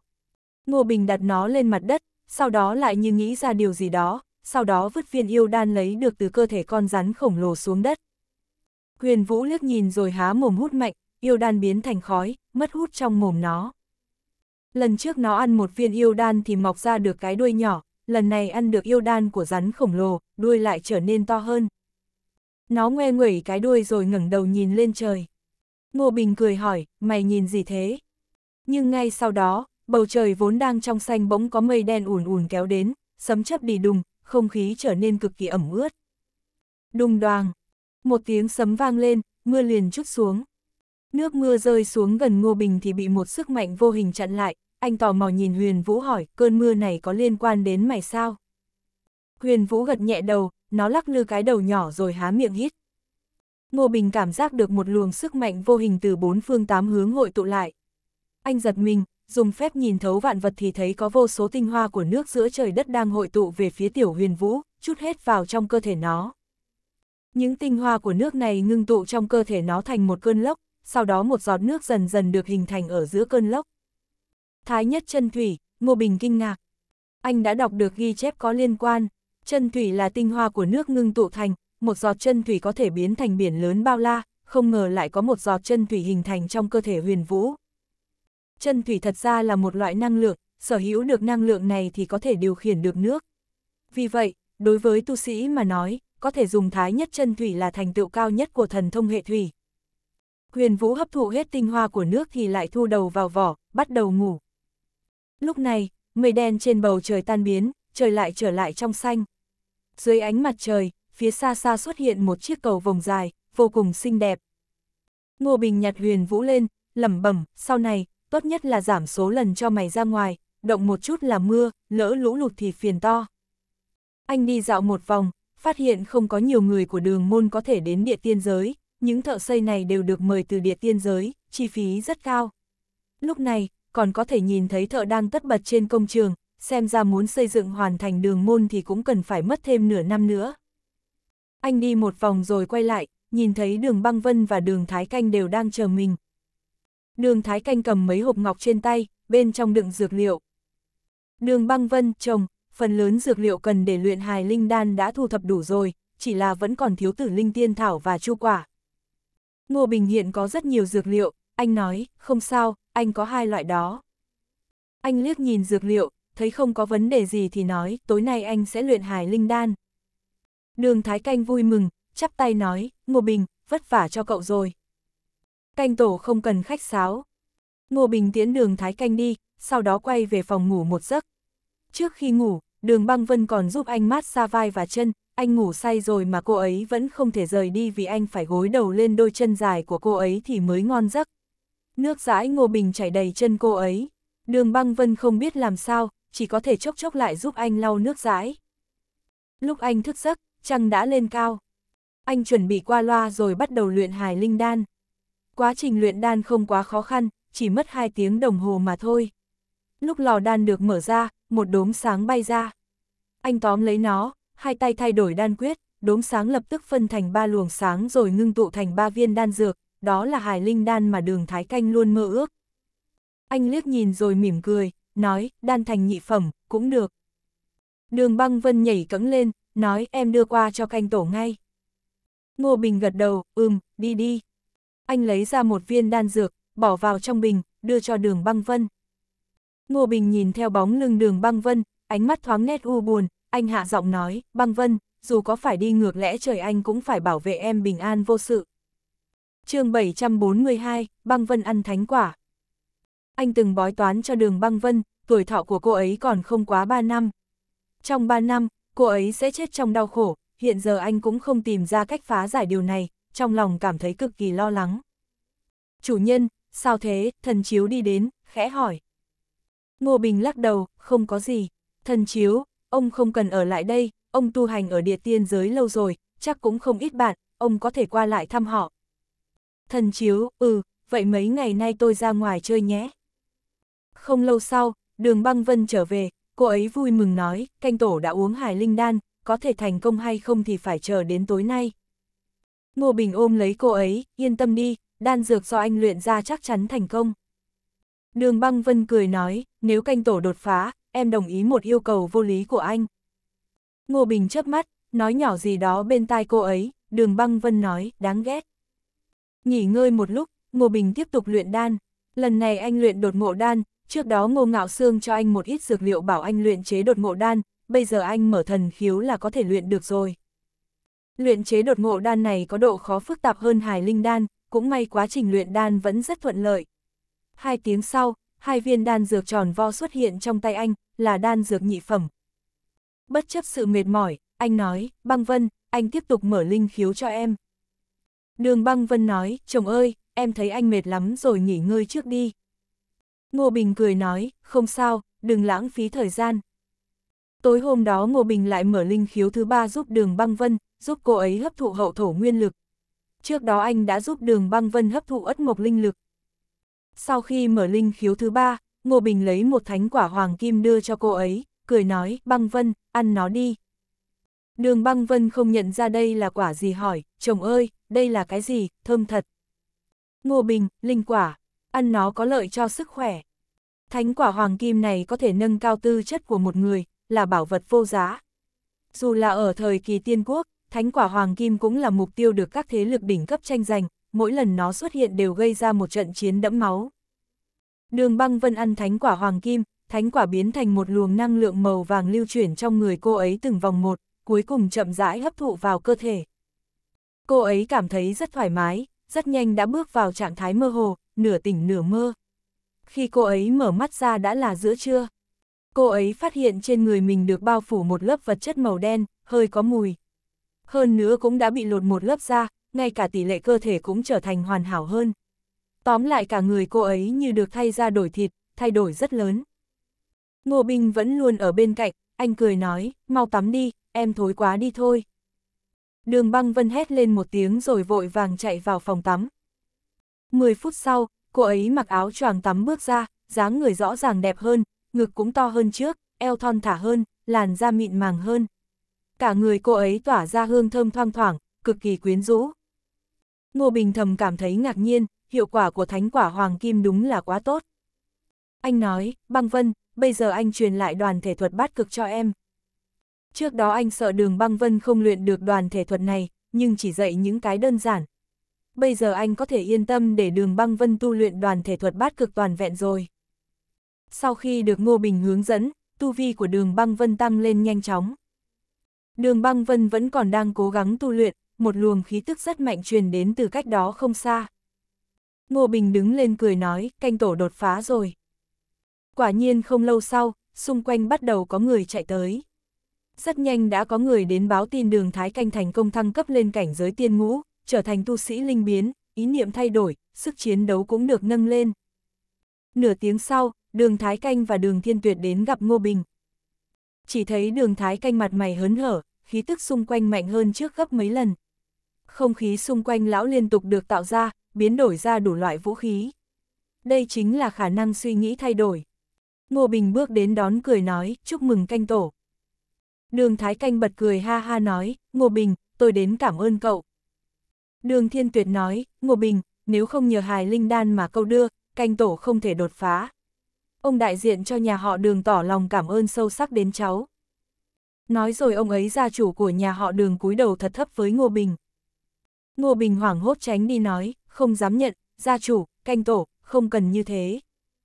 Đường Thái Canh cười nói, hài linh đan này là vật vô giá với tôi, nhiều thì tôi không có những tiền bùa này thì cậu nên nhận. Lão đưa một cái túi da màu xám cho Ngô Bình, Ngô Bình nhận lấy, bên trong có hơn 600 tiền bùa, trông có vẻ là tài sản của đường Thái Canh. Anh cười nói, canh tổ, tôi cũng là một thành viên của nhà họ đường, sao có thể nhận tiền của ông? Hay là thế này, sau này canh tổ gặp được dược liệu nào thì để lại giúp tôi. Đường Thái Canh bật cười, lão cũng không miễn cưỡng, cũng được, tôi sẽ nhớ ơn này của cậu. Sau đó lão nói với đường băng vân, băng vân, cháu đưa Ngô Bình về đường ra bảo, dẫn cậu ấy đến động tiên để thử vận may, à phải rồi, sau này chuyện của nhà họ đường, ngoài thiên tuyệt, Ngô Bình cũng có quyền quyết định. Nếu ai không phục, bảo người đó đến tìm ông. Đường băng vân cười nói, vâng. Ngô Bình đã lâu không ra ngoài, hôm đó anh rời đi địa tiên giới cùng với đường băng vân, thần chiếu không ở đó, anh bèn để lại mảnh giấy ghi chú ở nhà họ đường, bảo ông ấy đi tìm anh sau khi trở về.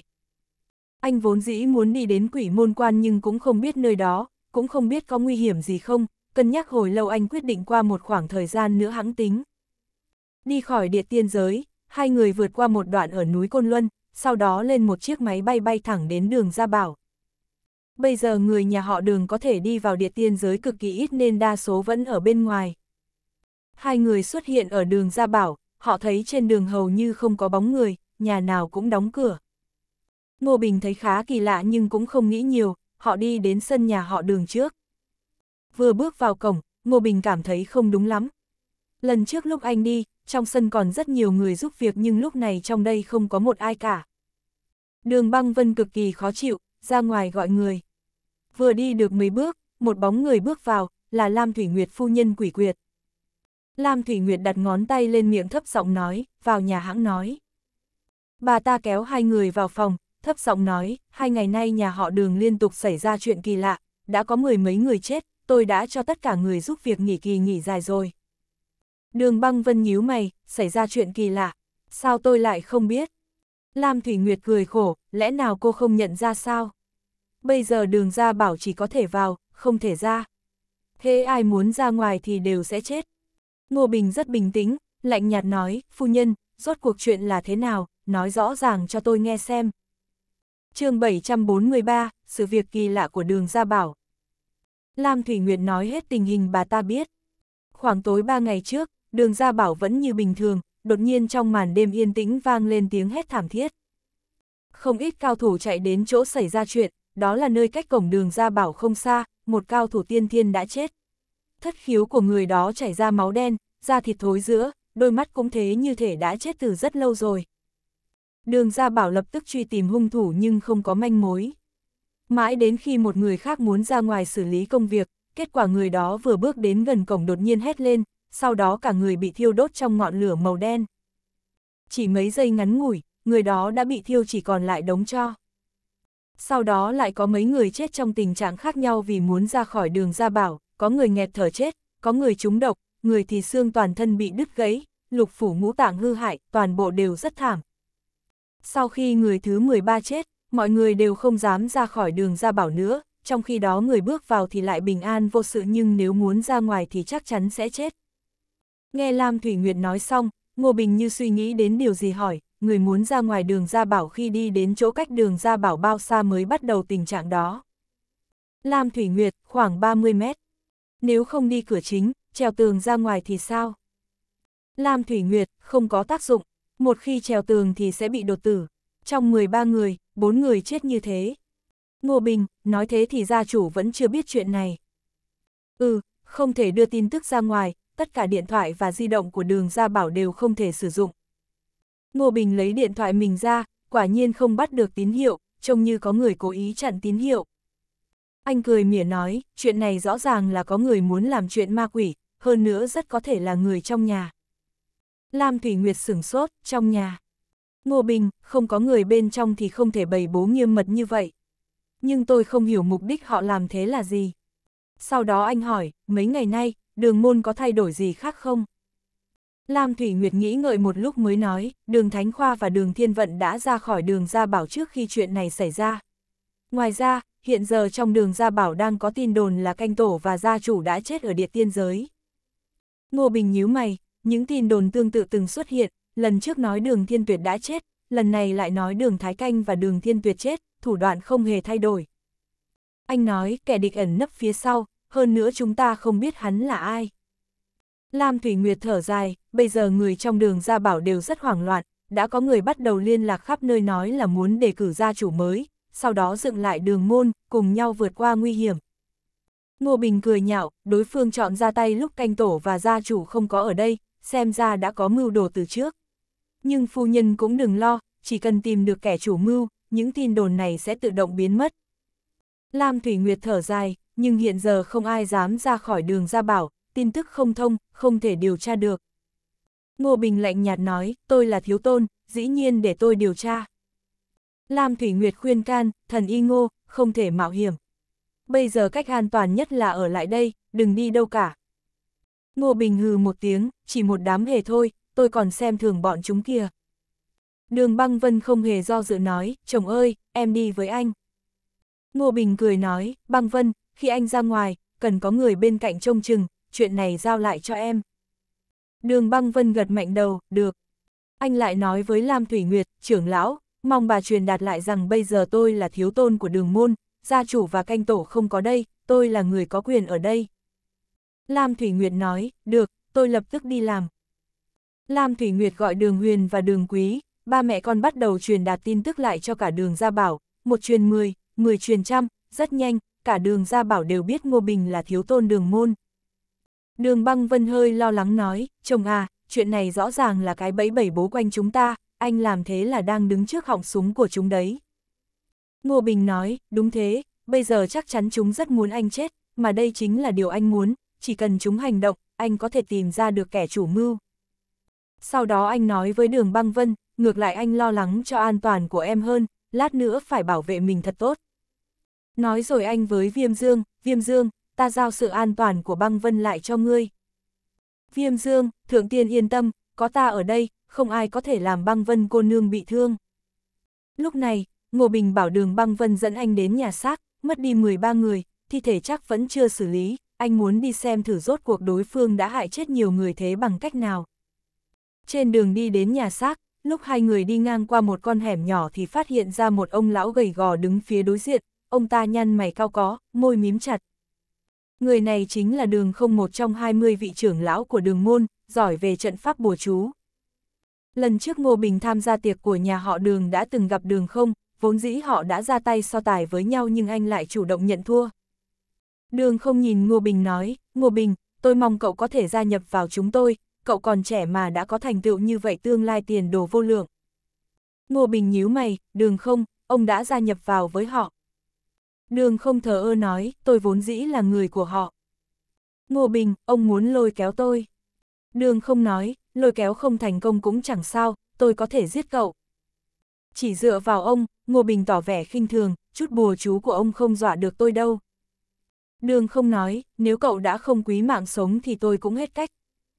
Vừa dứt lời, ông ta giơ tay lên, một lá bùa màu đen bay đến mang theo âm khí quỷ dị. Đây là một lá bùa quỷ đạo sát, tên là bùa hung quỷ nuốt hồn.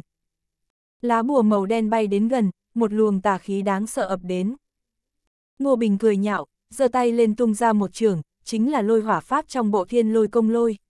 Lòng bàn tay của anh tràn ngập sấm sét, ánh sáng và lửa, đánh vào bùa hung quỷ nuốt hồn. Bùa quỷ đạo sát nổ tung, hung ma bị phong ấn bên trong lập tức bị quét sạch. Đường không ngạc nhiên không thôi, bùa quỷ ông ta đánh ra đủ để chém chết thuần dương địa tiên, sao có thể bị phá được. Không kịp nghĩ nhiều, ông ta lại vung ra bốn lá bùa. Bốn lá bùa này lần lượt là màu xanh, màu vàng, màu trắng, màu đỏ, bốn vầng sáng lao đến giữa đường thì đan xen vào nhau, ngưng tụ thành một cái miệng đầy máu cắn về phía Ngô Bình. Cái miệng lớn đó lập tức tiến đến gần, Ngô Bình trở tay lấy pháp ấn tiểu Tây Thiên phong ấn lên đó. ầm, um, cái miệng lớn bị đóng một cái dấu, sau đó bị đóng chặt giữa không trung.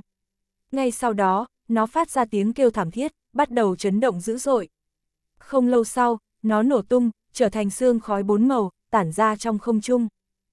Đường không cực kỳ kinh ngạc, giơ tay còn muốn thi triển bùa chú, Ngô Bình tiến đến một bước rồi biến mất. Anh thi triển thần quỷ trường vực, che giấu tung tích. Đường không thầm kêu không ổn, xoay người muốn bỏ chạy nhưng vừa mới quay đầu trước ngực đã bị đánh một trường. Một cú đánh khiến xương ông ta đứt gãy, lục phủ ngũ tạng đều trở thành bùn nhão. Đường không lùi về sau mấy bước, cả người nhào xuống đất như sợi bún. Lúc này Ngô Bình xuất hiện trước mặt ông ta, lạnh lùng nói, bùa của ông khá thú vị đấy, tiếc là quá yếu, tôi giết ông không tốn chút sức lực nào. Đường không lại nôn ra máu, máu có màu nâu tương, bên trong toàn là nội tạng bị vỡ nát, ông ta nói, không ngờ thực lực của cậu đã khủng khiếp như thế. Ngô Bình hỏi, người đứng sau ông là ai? Đường không mấp máy môi nhưng không phát ra tiếng, đầu nghiêng sang một bên rồi nghẹt thở chết. Ngô Bình cũng không quan tâm, đường không không nói thì vẫn còn người nhảy ra. Đường không này mới chỉ là bắt đầu. chương 744, người đứng sau. Bước qua thi thể của đường không, hai người tiếp tục tiến về phía trước. Khi đi qua con ngõ thứ hai, có thêm một người xuất hiện trước mặt họ. Người này ngoài 20, không cao, hai tay đều cầm một con dao găm sắc bén. Đường băng vân lạnh lùng cất tiếng, Hoàng Phủ Cực. Hoàng Phủ Cực nói nhẹ tinh, đường băng vân, đã lâu không gặp. Bây giờ hai người có hai sự lựa chọn, một là cùng tôi đi gặp vài người, hai là tôi sẽ giết hai người. Đường băng vân đáp, chuyện của đường môn đến lượt nhà Hoàng Phủ can thiệp từ bao giờ vậy? Hoàng Phủ cực bảo, tôi chỉ làm việc theo mệnh lệnh. Ngô Bình vẫn không dừng bước, đi thẳng về phía Hoàng Phủ cực. Hoàng Phủ cực xa sầm mặt, nhóc con, nếu còn không dừng lại thì sẽ mất mạng đấy. Ngô Bình đáp, dựa vào anh thì không giết chết được tôi. ầm, um, Hoàng Phủ cực dẫm hai chân xuống đất rồi lao về phía Ngô Bình như một quả đạn pháo. Hắn sở hữu một tuyệt kỹ võ học tên là tuyệt mệnh đại thiết cát. Có biết bao người đã chết dưới tuyệt kỹ này của hắn. Ngay cả địa tiên cảnh giới một triệu còn mất mạng khi chịu phải đòn này. Nhưng hắn đã đánh giá thấp Ngô Bình rồi. Ngay khi hắn bước vào phạm vi một mét quanh Ngô Bình, tốc độ đột nhiên chậm lại. Hóa ra, hắn đã rơi vào thần quỷ trường vực của Ngô Bình. Trong trường vực, hắn như một con cừu chờ bị giết. Dầm, Ngô Bình vung nắm đấm ra, Hoàng Phủ cực không kịp tránh đòn, đầu bị đấm dẹt, ngã nhào xuống đất, máu chảy ròng ròng từ thất khiếu rồi chết. Giết xong Hoàng Phủ cực, Ngô Bình cao giọng nói, từng người một tự tìm đường chết, để tôi xem các người sẽ chết bao nhiêu mạng. Ra khỏi con ngõ, nghênh tiếp họ là một người quen, cao thủ số một của thiên sát Long Cương. Ánh mắt Long Cương ngập tràn sát khí, trạng thái khác hẳn ngày hôm đó. Bởi vì lần trước là thi đấu, còn lần này là giết người. Thì ra anh cũng là người của bọn họ, Ngô Bình nhìn Long Cương chằm chằm, tôi cho anh một cơ hội, bỏ tối theo sáng, đứng về phía tôi. Long Cương phun nước bọt, lạnh lùng bảo tôi chỉ đứng về phe kẻ mạnh. Cậu, quá yếu. Ngô Bình đáp trả, thế à, e là anh mù rồi. Long Cương nói, lần trước chúng ta ngoài mặt là hòa nhau, nhưng thực chất tôi vẫn chưa dùng hết sức. Nếu tôi thi triển tuyệt chiêu của mình thì cậu chết chắc. Ngô Bình trả lời, thiên sát hiếm khi có được một cao thủ như anh, giết thì thật đáng tiếc. Thế này đi, chúng ta cược với nhau. Nếu tôi đánh bại anh trong vòng 3 chiêu, anh phải theo phe tôi. Long Cương liếc Ngô Bình, đánh bại tôi trong 3 chiêu. Cậu đang nằm mơ à? Dứt lời, khí tức của anh ta đã cuồn cuộn. Ngô Bình hơi nhướng mày, mới không gặp nhau vài hôm thôi, hóa ra anh cũng đạt cảnh giới nhân tiên rồi. Gen tiến hóa cộng thêm tu vi nhân tiên, anh mạnh gấp đôi lúc trước. Long Cương đáp, nên tôi chắc chắn sẽ đánh chết cậu. Ngô Bình bảo, nhiều lời vô ích, ra tay đi. ầm, mặt đất chấn động, Long Cương như một cỗ máy chiến đấu hình người, điên cuồng lao đến. Ngô Bình cũng hành động, tia chớp lóe lên trên hai bàn tay, anh trưởng về phía Long Cương. Dầm, dầm, dầm. Chỉ trong nháy mắt, đôi bên đã trưởng ba cái vào nhau. Long Cương văng ra mười mấy mét hệt như bao cắt vậy. Anh ta vừa rơi xuống đất, dấu tay đỏ như máu đã xuất hiện trên cơ thể, bộ phận bị trúng trưởng còn có mùi của thịt chín. Long Cương muốn đứng dậy nhưng chân khuỵu đi, lại ngồi phịch xuống đất, miệng không ngừng chảy máu đen. Mạnh quá, anh ta thì thào, vẻ mặt đau đớn vô cùng. Lúc này, trong người anh ta đang có một luồng lực lôi hỏa đang ăn mòn cơ thể. Chưa đầy một phút nữa, anh ta sẽ bị nướng chín cả người. Đi đến trước mặt anh ta, Ngô Bình hỏi, anh phục rồi chứ? Long Cương gật đầu, tôi phục. Anh đồng ý theo tôi không? Long Cương đáp, đồng ý. Ngô Bình vỗ lên người anh ta, thu hồi lực lôi hỏa. Long Cương lập tức thấy dễ chịu hơn.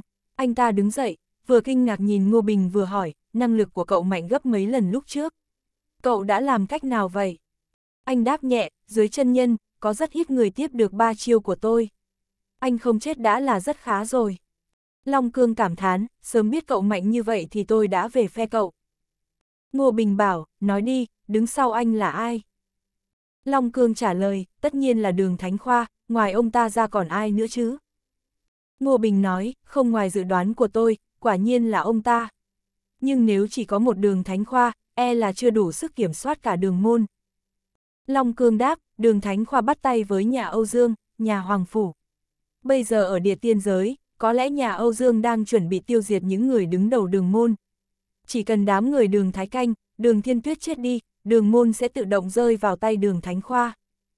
Ngô Bình cao mày, nhà Âu Dương muốn diệt đường môn. Long Cương cho biết, tôi chỉ nghe họ nói tôi, cụ thể đã xảy ra chuyện gì thì tôi không rõ. Ngô Bình đăm chiêu, sao nhà Âu Dương lại muốn diệt đường môn? Cậy nhờ sức mạnh của Thục Sơn kiếm phái sao? Anh trầm giọng đưa tôi đi gặp đường Thánh Khoa. Long Cương bảo, tôi khuyên cậu nên rời khỏi đây ngay. Tuy cậu rất mạnh nhưng chưa chắc là đối thủ của đường Thánh Khoa. Ngô Bình nhìn anh ta chăm chăm, không phải đường Thánh Khoa là địa tiên cảnh giới một sao. Long Cương đáp, đó là trước đây. Hơn một năm trước, ông ta được lợi từ động tiên khổng minh, bây giờ đã đạt đến cảnh giới ba địa tiên. Nếu không thì làm sao ông ta dám làm thế? Ngô Bình cười lạnh lùng, anh cứ việc dẫn đường đi. Long Cương không rông dài nữa, đi phía trước dẫn đường cho anh.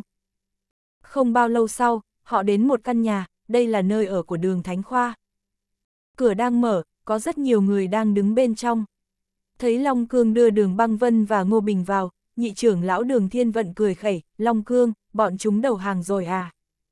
Long Cương đáp không. Đường thiên vận giận dữ nói, bọn chúng không đầu hàng thì sao không giết mà còn đưa đến đây. Đúng là to gan. Long Cương lạnh lùng bảo, tôi không đánh lại cậu ta. Bây giờ tôi theo phe Ngô Bình. Một ông lão tóc trắng, da rẻ hồng hào bước ra từ trong căn nhà. Đó chính là đường Thánh Khoa. Đường Thánh Khoa vừa mỉm cười vừa lên tiếng, Long Cương, việc cậu không phải là đối thủ của cậu ta cũng nằm trong dự đoán của tôi. Cậu ta là nhân tài kiệt xuất, không thể xem thường. Long Cương nói cảm ơn thượng trưởng lão đã nói hộ tôi. Có điều, bây giờ tôi đã là người của Ngô Bình. Ngô Bình hờ hững bảo, đường Thánh Khoa, tôi là thiếu tôn của đường môn, ông cũng phải nghe lệnh tôi. Ông bước qua đây cho tôi, ngoan ngoãn chịu tội đi. Đường Thánh Khoa cũng không tức giận, cậu nhóc Ngô Bình, thật ra nếu cậu không xuất hiện thì tôi đã chẳng đi bước này. Cậu có thể luyện chế đan dược, đường Thái Canh muốn mượn tay cậu để nâng cao danh tiếng của đường môn ở địa tiên giới. Làm sao tôi có thể để lão được toại nguyện, hết cách, tôi chỉ đành hành động trước thôi. Ngô Bình đáp, muốn nhà Âu Dương diệt đường môn à, ông sẽ không được như ý nguyện đâu. Đường Thánh Khoa nhẹ nhàng nói, nhờ có Âu Dương Thánh Hoàng, nhà Âu Dương rất có địa vị ở Thục Sơn. Nếu họ muốn đối phó đường môn thì đường môn chắc chắn sẽ chết. Ngô Bình nghĩ bụng, có lẽ ông ta vẫn chưa biết Âu Dương Thánh Hoàng đã chết, sư tổ của hắn cũng toi đời rồi. Không còn Âu Dương Thánh Hoàng, nhà Âu Dương sẽ không đủ sức uy hiếp đường môn nữa. chương 745, Đế Tân báo thù. Anh nói, nhà Âu Dương không có lý do gì để hợp tác với ông. Đường Thánh Khoa cười bảo, tất nhiên là tôi cho họ lợi ích. Sau này, tôi sẽ mở cửa động tiên khổng minh cho nhà Âu Dương. Ngô Bình lắc đầu, để đạt được mục đích, ông thật sự dùng mọi thủ đoạn đấy nhỉ. Đường Thánh Khoa đáp, Ngô Bình, bây giờ cậu vẫn có thể chọn đứng về phe tôi. Tư chất của cậu rất tốt, chỉ cần cậu chịu quy thuận, vị trí thiếu tôn vẫn thuộc về cậu. Ngô Bình cười khẩy, ông nghĩ ông chắc chắn thắng được tôi sao? Đường Thánh Khoa hờ hững bảo, Ngô Bình, đối mặt với thực tế đi. Trước mặt tôi, cậu thật sự quá yếu ớt, thậm chí tôi không cần ra tay đã có thể khiến cậu chết 100 lần rồi. Ngô Bình cười lạnh lùng, ông có thể thử xem. Đường Thánh Khoa thở dài, nhẹ nhàng cất tiếng, khối thần. Ngay lập tức, 24 luồng sáng đen lao ra từ người ông ta, hóa thành 24 khối thần. Những khối thần này đều ở cấp địa tiên, khí tức rất mạnh. Cả căn nhà như biến thành cõi ma quái u ám, 24 khối thần lơ lửng giữa không trung, lờ mờ tạo thành sát trận. Ngô Bình quét mắt nhìn, nhị thập tứ đô minh sát trận. Đường Thánh Khoa, không nhìn ra ông còn biết trận pháp đấy. Đường Thánh Khoa hơi bất ngờ, không ngờ cậu lại biết nguồn gốc trận pháp này, tôi đánh giá thấp cậu rồi. Ngô Bình, uy lực của trận này có thể giết chết chân quớ, cậu cảm thấy mình còn cơ hội sống sót sao? Ngô Bình đáp, tất nhiên là có. Dứt lời, anh lấy một ngọn đèn ra, chính là tịnh thế thần hỏa. Tịnh thế thần hỏa hình đóa sen phát ra tịnh thế thần quang. Bất cứ nơi nào thần quang đi qua, 24 khối thần lại thi nhau gào thét và muốn chạy trốn. Nhưng thần quang quá lợi hại, chúng chỉ mới quay người đi thì ngay giây sau đã bị thần quang thanh tẩy, biến thành 24 hồn lực tinh khiết, tụ về phía anh. Những hồn lực này thu nhỏ về kích cỡ của một hạt đỗ tương, xoay quanh ánh sáng của ngọn đèn, biến thành một phần của đèn thần và bổ sung một phần uy lực cho ngọn đèn thần ấy. Thấy Ngô Bình phá được đại trận, đường Thánh Khoa vừa kinh ngạc vừa giận dữ, bắt lấy cậu ta. Những người ở đó định tấn công thì Ngô Bình chợt lên tiếng, đại trưởng lão, thất trưởng lão, cửu trưởng lão, các ông qua đây. Ba người này đều bị đế tân điều khiển. Đế tân từng nói, vào thời khắc mấu chốt, họ sẽ đứng về phía Ngô Bình. Quả nhiên, Ngô Bình vừa mở lời, họ đã đồng loạt bước đến, đứng sau lưng anh. Đường Thánh Khoa cả kinh, các người theo phe cậu ta từ bao giờ? Mấy người họ không nói gì, chỉ lạnh lùng nhìn đường Thánh Khoa. Đường Thánh Khoa giận run người, không kìm lại lửa giận trong lòng nữa, bèn giống lên, đi chết đi. Khí tức của ông ta bùng nổ, như thể sắp thi triển một đòn kinh khủng nào đó. Nhưng từ chết của đường Thánh Khoa vừa thốt ra, Ngô Bình đã xuất hiện ngay bên cạnh ông ta hệt như một bóng ma, đoạn vươn tay lấy thứ gì đó dắt bên hông ông ta. Đó là một con dấu nhỏ hình trụ tròn, bên trên có khắc tám con rồng vàng, một đầu là đóa sen màu vàng. Ngô Bình vừa nhìn thấy đường Thánh Khoa đã chú ý đến con dấu này, biết đó là một bảo vật. Đế Tân từng nói đường Thánh Khoa có một bảo vật hộ thân, chắc chắn là thứ này rồi. Mất đi con dấu, đường Thánh Khoa liền biến sắc, gào lên, trả bát bộ long ấn cho tôi. Đúng lúc này, một luồng khí tức kinh khủng từ trên trời giáng xuống. Sắc mặt đường Thánh Khoa thay đổi hẳn, quay đầu bỏ chạy. Nhưng ông ta vừa đi được một bước thì cơ thể đã cứng đờ, không nhúc nhích được nữa. Lục trưởng lão đường thiên tinh bước đến, đôi đồng tử biến thành một màu đen ngòm, đã bị tà ma nhập vào người. Đường thiên tinh nhìn chằm chằm vào đường thánh khoa, đường thánh khoa, anh biến tướng sĩ của tôi thành nô lệ, có từng nghĩ đến chuyện tôi sẽ trừng trị anh ra sao không? Cả người run bần bật, đường thánh khoa run rẩy nói, tôi sai rồi, hãy tha cho tôi một lần.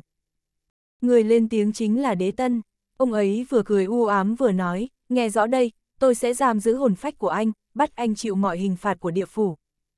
Đường Thánh Khoa giống lên, đừng, giết tôi đi. Đường Thiên Tinh vẫy tay một cái, một luồng khí trắng bốc lên từ đỉnh đầu đường Thánh Khoa rồi bị ông ấy cho vào chai. Cất chai vào, đường Thiên Tinh vừa nhìn Ngô Bình vừa nói cảm ơn cậu. Nếu không nhờ cậu lấy đi pháp bảo hộ thân thì tôi đã không thể tiếp cận đường Thánh Khoa. Ngô Bình đáp, không có gì. Phía đường môn, hy vọng ông không nhúng tay vào. Đế tân đáp, được.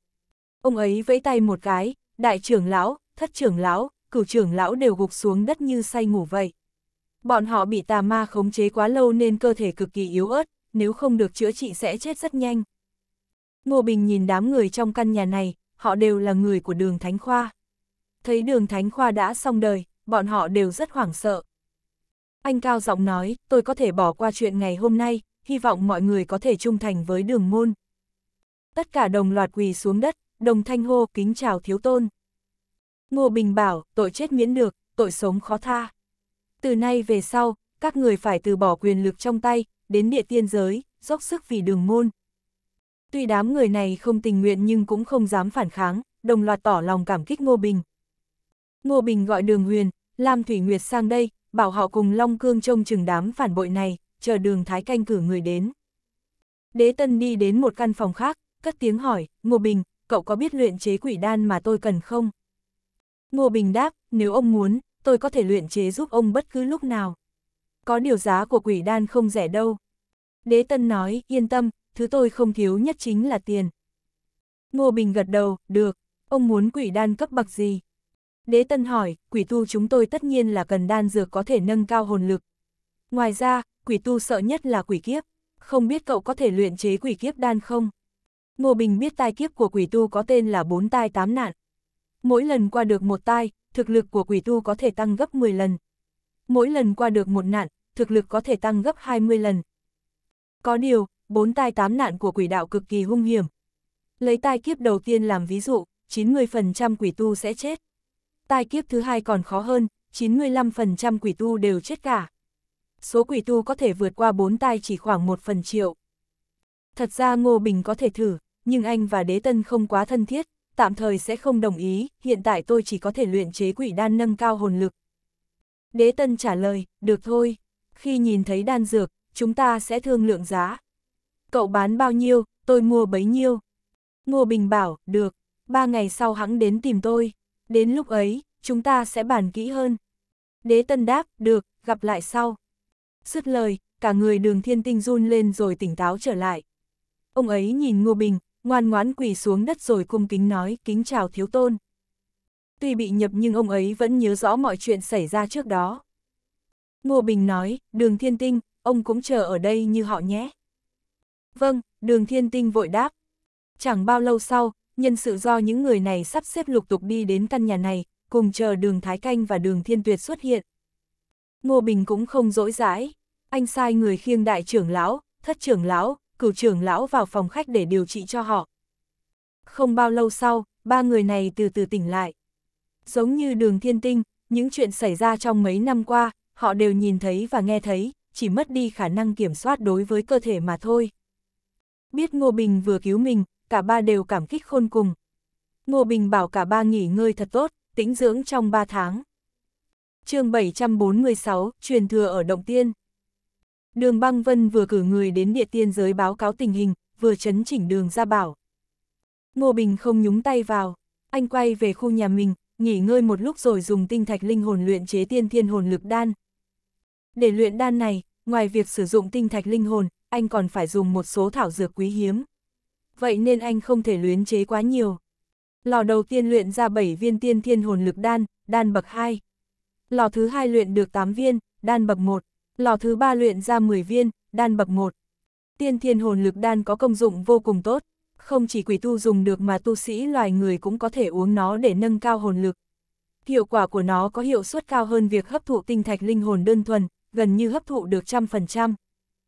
Chờ anh luyện đan xong, đường thiên tuyệt cũng đã về đường ra bảo. Có ông ấy ở đây, những chuyện còn lại không cần Ngô Bình can dự nữa. Đêm xuống, đường băng vân đưa Ngô Bình đến động tiên khổng minh. Động tiên này do ngài khổng minh phát hiện, ngay cả ngài ấy cũng chỉ được truyền thừa vài miếng da và lông thú. Động nằm sâu trong núi của thục, không có người ở, xung quanh là rừng nguyên sinh, có nhiều thú dữ và trùng độc tiềm ẩn. Đến trước động tiên, lối vào có hai người canh gác.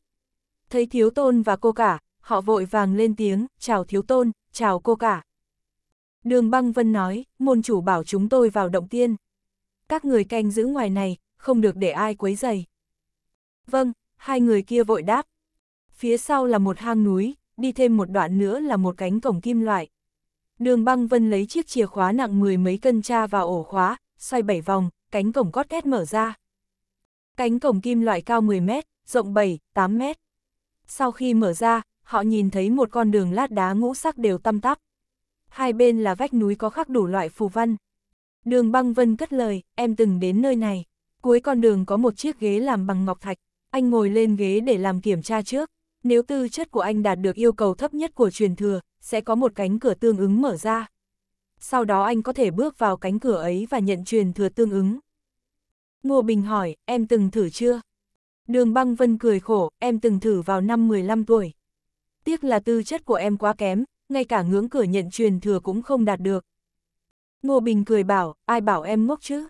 Em là người may mắn đã ăn thánh quả hoàng kim, tư chất hiện tại của em không thua kém bất kỳ thiên tài nào mà anh từng gặp. Đường băng vân vừa mừng rỡ vừa kinh ngạc, thật ư. Ngô Bình đáp, nếu em không tin thì có thể thử lần nữa mà. Đúng như lời đường băng vân đã nói, đi được hơn 100 mét, họ bước vào một đại điện rộng minh mông. Nền đất trong đại điện được lát sàn màu vàng, không biết làm bằng chất liệu gì.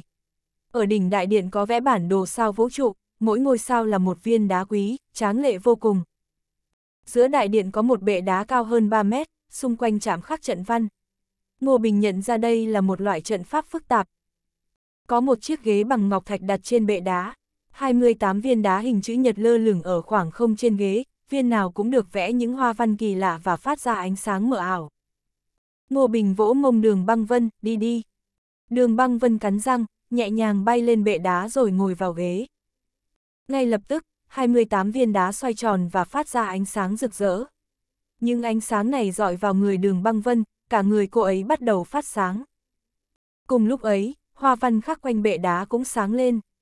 Đại trận vận hành, bắt đầu kiểm tra tư chất của đường băng vân. Bên cạnh chiếc ghế có một bia đá cao 2 mét, ánh sáng đỏ nhấp nháy trên bia đá.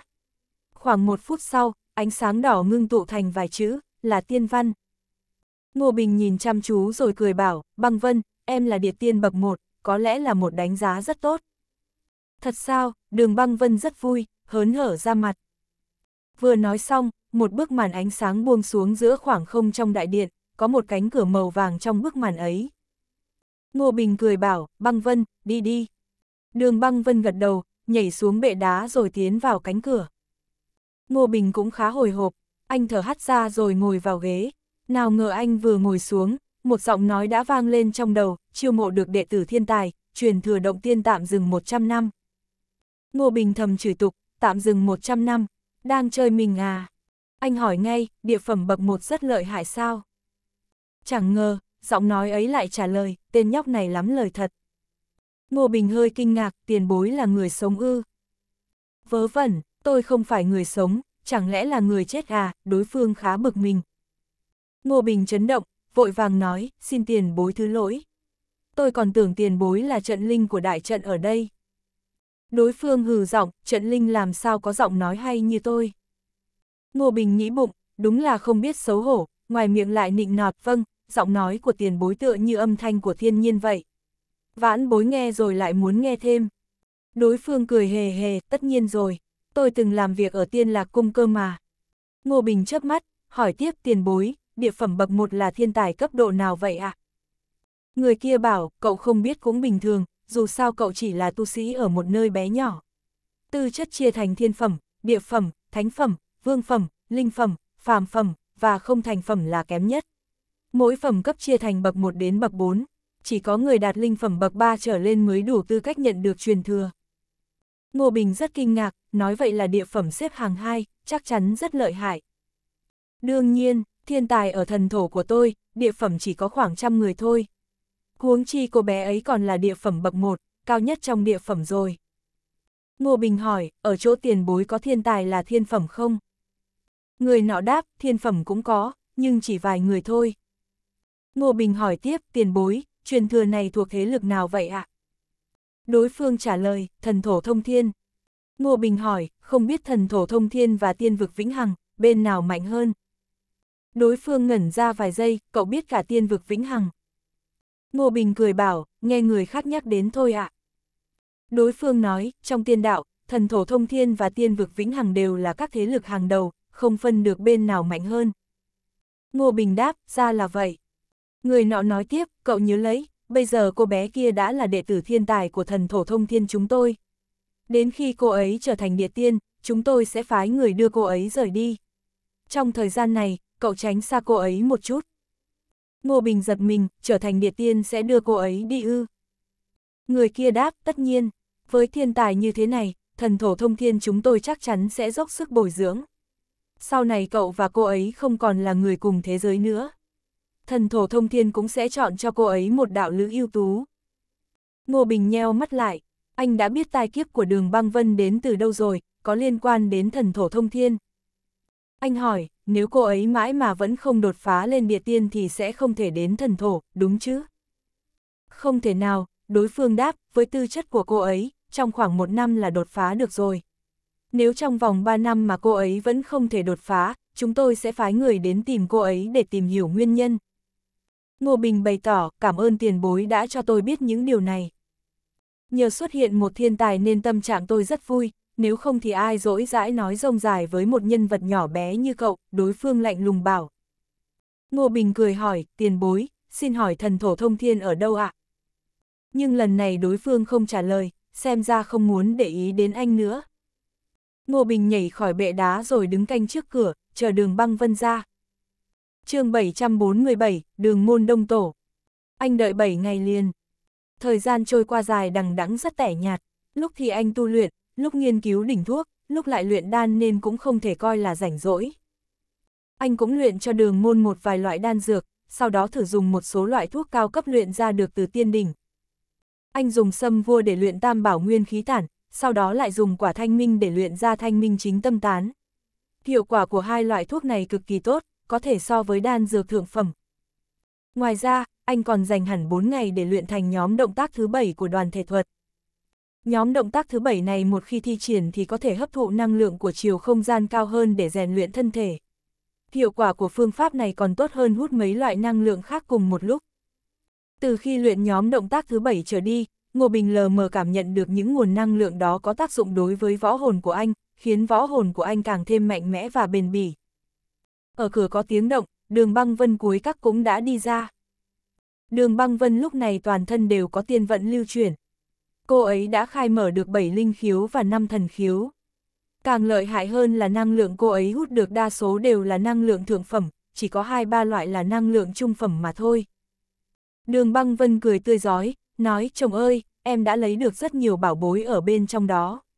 Em chưa đủ trình để dùng nên mang về cho anh này. Nói rồi cô lấy từ trong túi áo ra hai viên đan, một lọ thuốc dạng bột. Ngô Bình, băng vân, chỗ đan dược này em giữ lại dùng đi.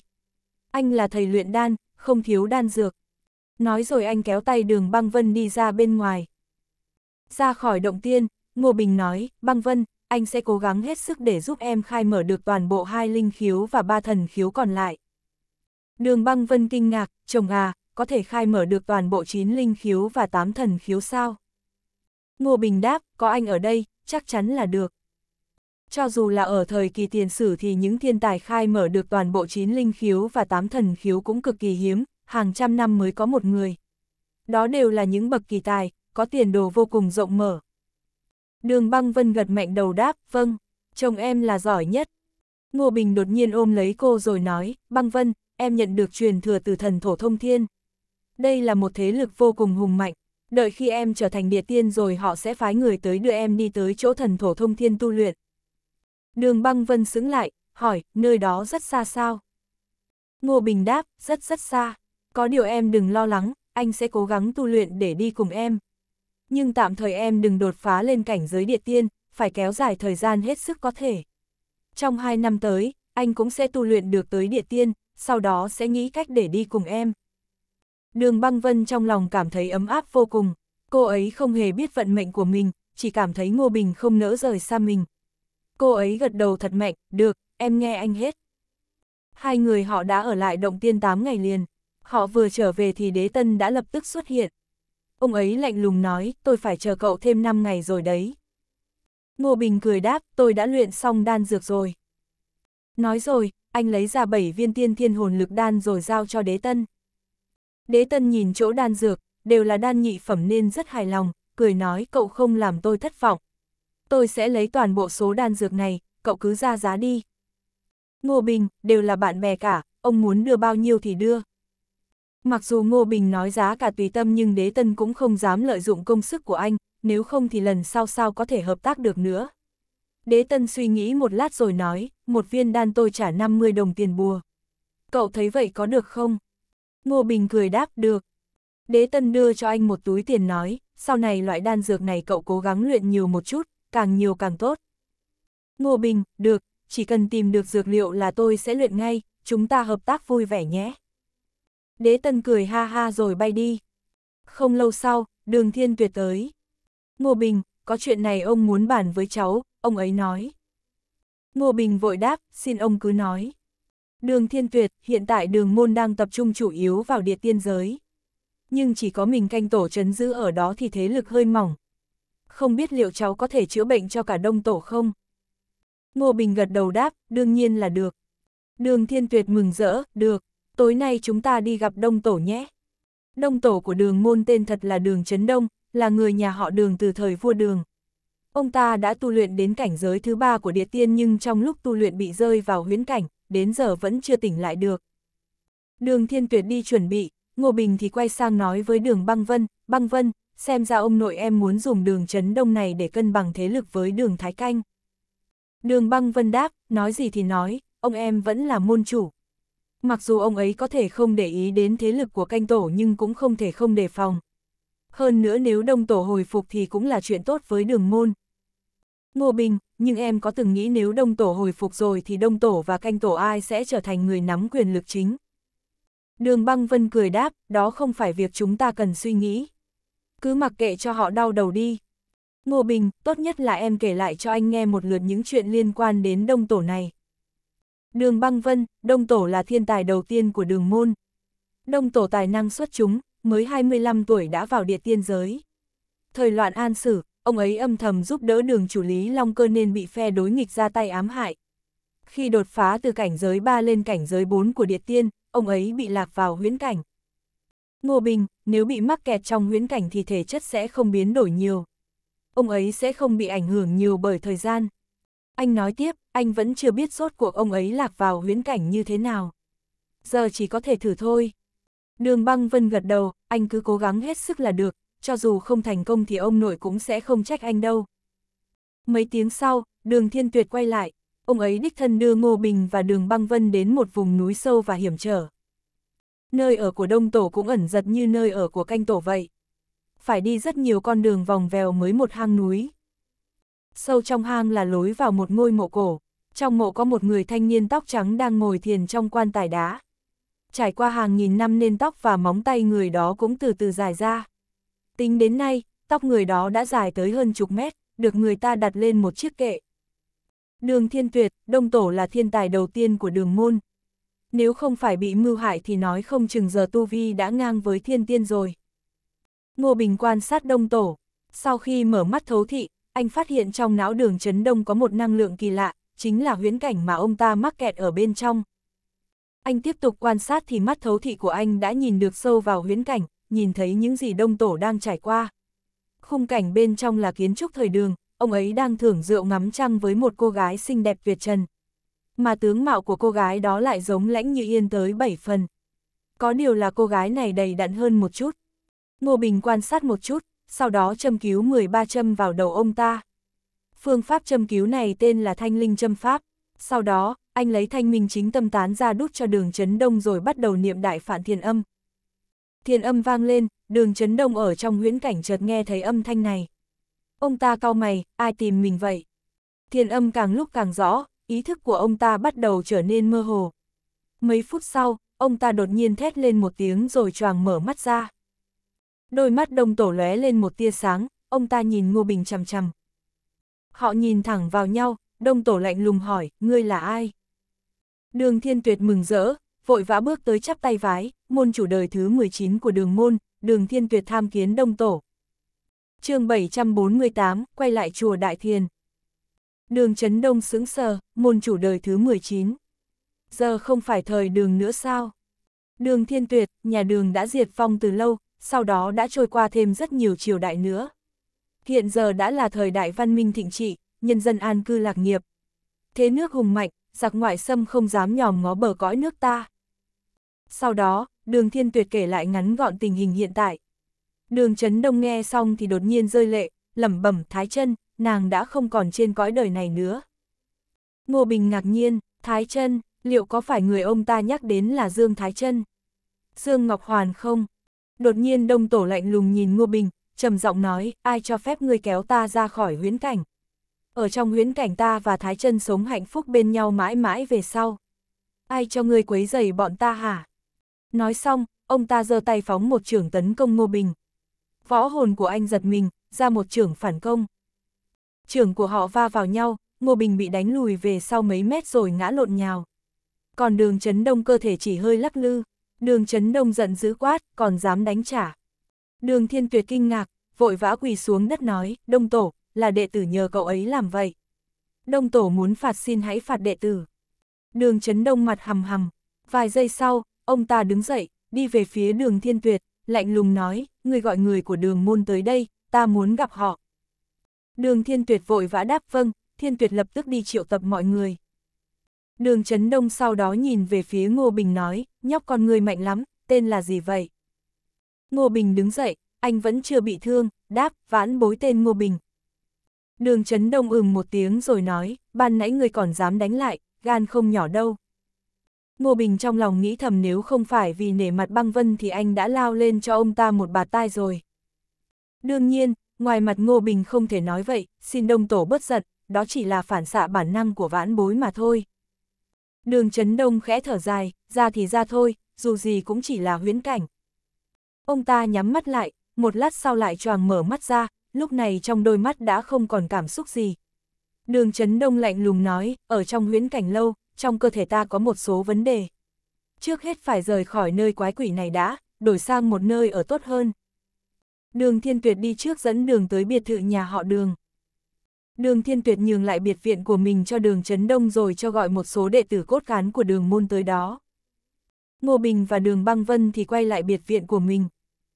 Sau khi đóng cửa lại, Ngô Bình nói, Băng Vân, đường Trấn Đông này tính tình quái đản, e là sau này ông nội em sẽ khó sống đây.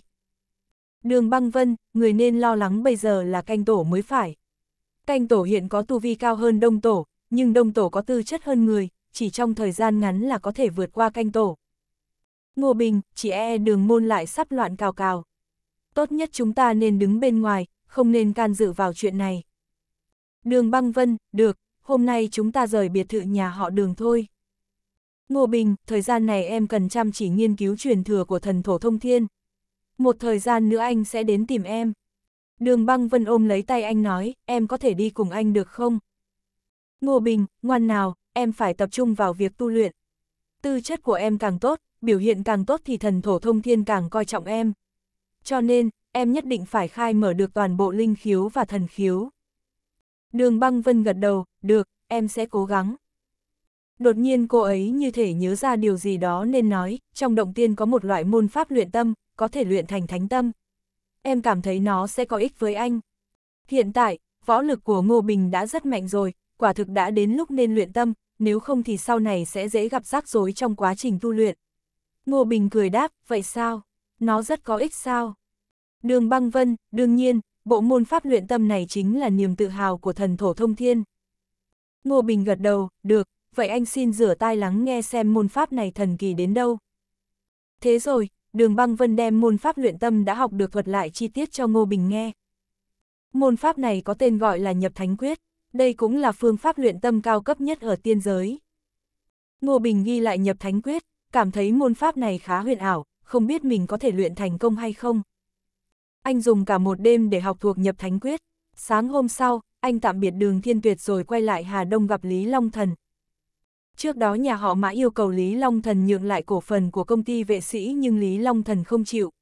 Anh vốn định trong 3 ngày sẽ quay lại giải quyết chuyện này, nhưng thật không ngờ lại dùng rằng đến tận 10 ngày. Cũng may nhà họ Mã chưa phái người tới gây khó dễ cho Lý Long Thần. Đến phủ tử Long, Ngô Bình lập tức hỏi, Long Thần, nhà họ Mã vẫn chưa phái người tới sao? Lý Long Thần, sư thúc, đệ tử cũng cảm thấy rất kỳ lạ nên đã cho người đi nghe ngóng. Hỏi ra mới biết, nhà họ mã đang có nội loạn nên không còn hơi sức đâu mà quan tâm đến chuyện bên này. Ngô Bình cười hỏi, nội loạn sao? Lý Long Thần gật đầu, hình như là gia chủ mới và cháu trai của Tây Bắc Vương Mã Hành không có xích mích với nhau khiến cậu cháu trai kia bị thương. Mã Hành không lúc này dù đang sắp không qua khỏi rồi nhưng vẫn có sức ảnh hưởng rất lớn. Vẫn có một đám người đứng về phía cháu trai ông ấy là Mã Thừa Phong. Ngô Bình suy nghĩ một lát rồi hỏi, Long Thần, hiện tại kẻ muốn gây rắc rối cho anh là vị gia chủ mới kia phải không? Lý Long Thần gật đầu, không sai. Tây Bắc Vương là người trượng nghĩa, nếu ông ấy còn tại chức thì sẽ không xảy ra chuyện như thế này. Ngô Bình, vậy anh đi tới nhà họ mã một chuyến, nói tôi có thể chữa bệnh cho Tây Bắc Vương. Lý Long Thần ngạc nhiên, sư thúc, chúng ta không thể nói bừa. Nhớ đâu không chữa được thì họ sẽ trách tội chúng ta đó. Ngô Bình, anh chỉ cần đi thông báo thôi. Đúng rồi, nếu Mã Hành không muốn chữa bệnh thì bảo ông ta đích thân tới chùa Đại Thiền tìm tôi. Lý Long Thần do dự một lát rồi cắn răng, gật đầu đáp, được.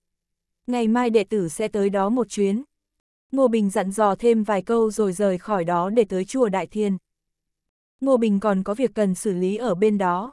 Mặc dù chuyện của mộ dung kiều đã xong nhưng anh phải dạy cho viên thâm đó một bài học mới được. Đại sư viên hối nói thời gian thách đấu là mùng 3 tháng 4. Hôm nay đã là mùng 2 tháng 4, ngày mai là đến hẹn. Ngô Bình tới chùa Đại Thiền thì thấy các nhà sư đang tụ tập rất đông ở trước ngọn núi. Trông thì có vẻ như họ đang tiến hành một nghi thức long trọng gì đó. Ngô Bình vừa ló mặt ra là Đại sư Tông Huy đi tới, cười nói, Ngô Thần Y. Ngô Bình nhìn đám hòa thượng kia rồi hỏi, họ đang thực hiện nghi thức gì sao?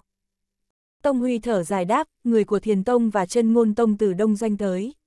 Họ không đến đây với thiện trí. Ngô Bình vốn đã biết Đông Doanh có một số giáo phái Phật giáo như Thiền Tông, chân ngôn Tông, Tịnh Độ Tông. Hơn nữa, có một số Phật phái thất truyền ở Viêm Long nhưng lại phát triển rất mạnh ở Đông Doanh. Ví dụ như giáo phái đường mật được hình thành trong thời kỳ nhà đường, chính là tiền thân của chân ngôn tông ngày nay. Ngô Bình, bọn họ đến đây với ý đồ xấu sao.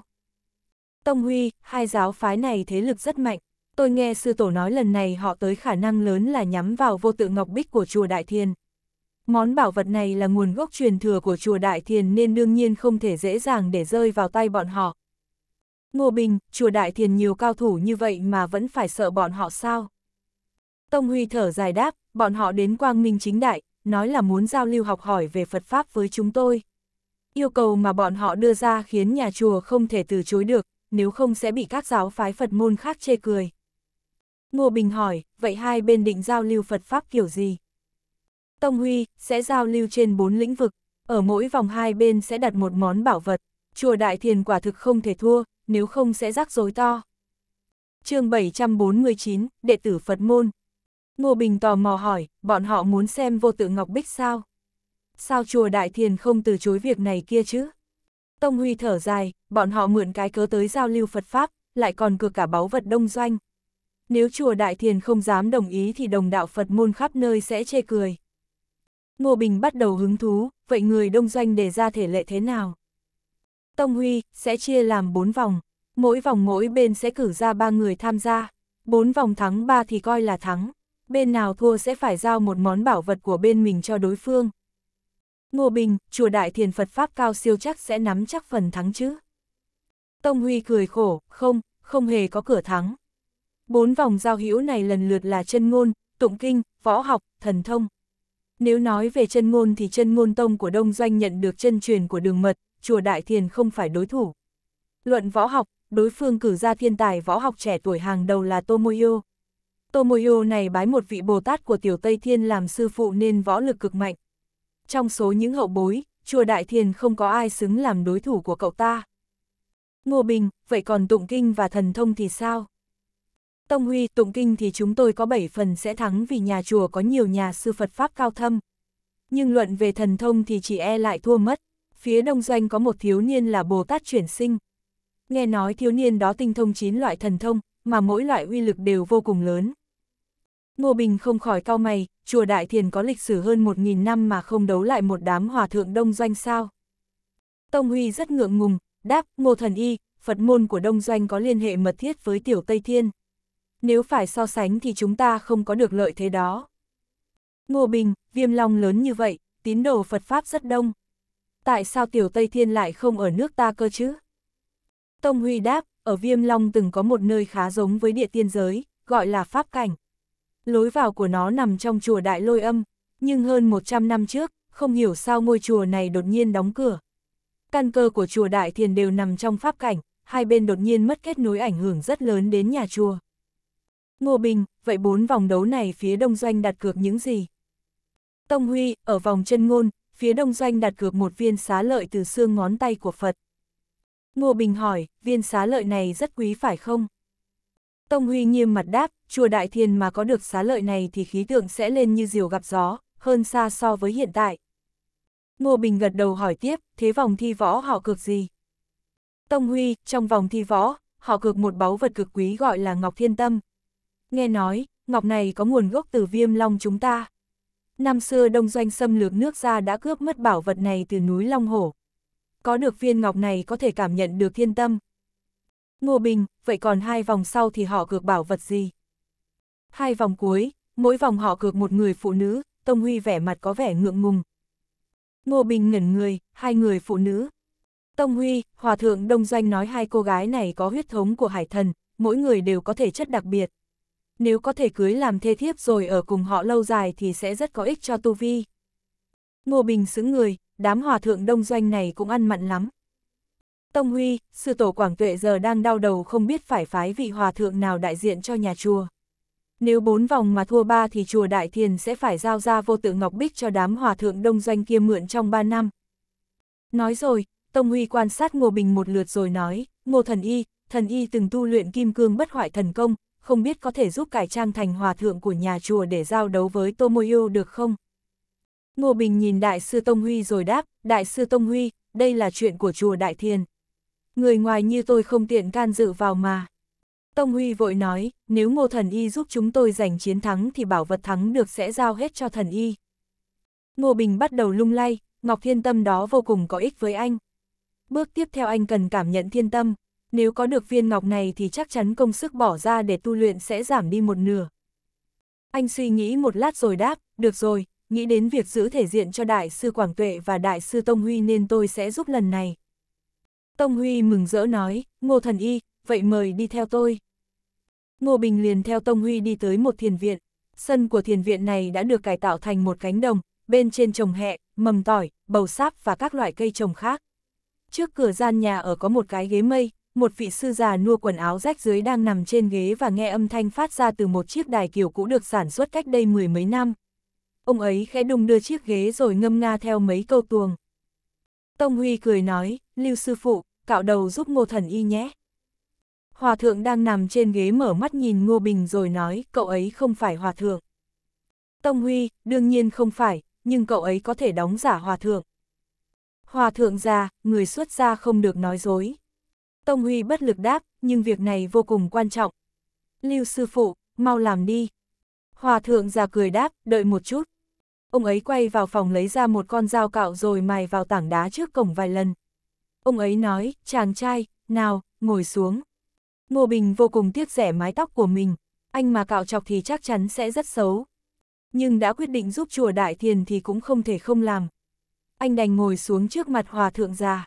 Hòa thượng già cầm con dao cạo lia thoăn thoát mấy đường, tóc của Ngô Bình thi nhau rơi xuống đất.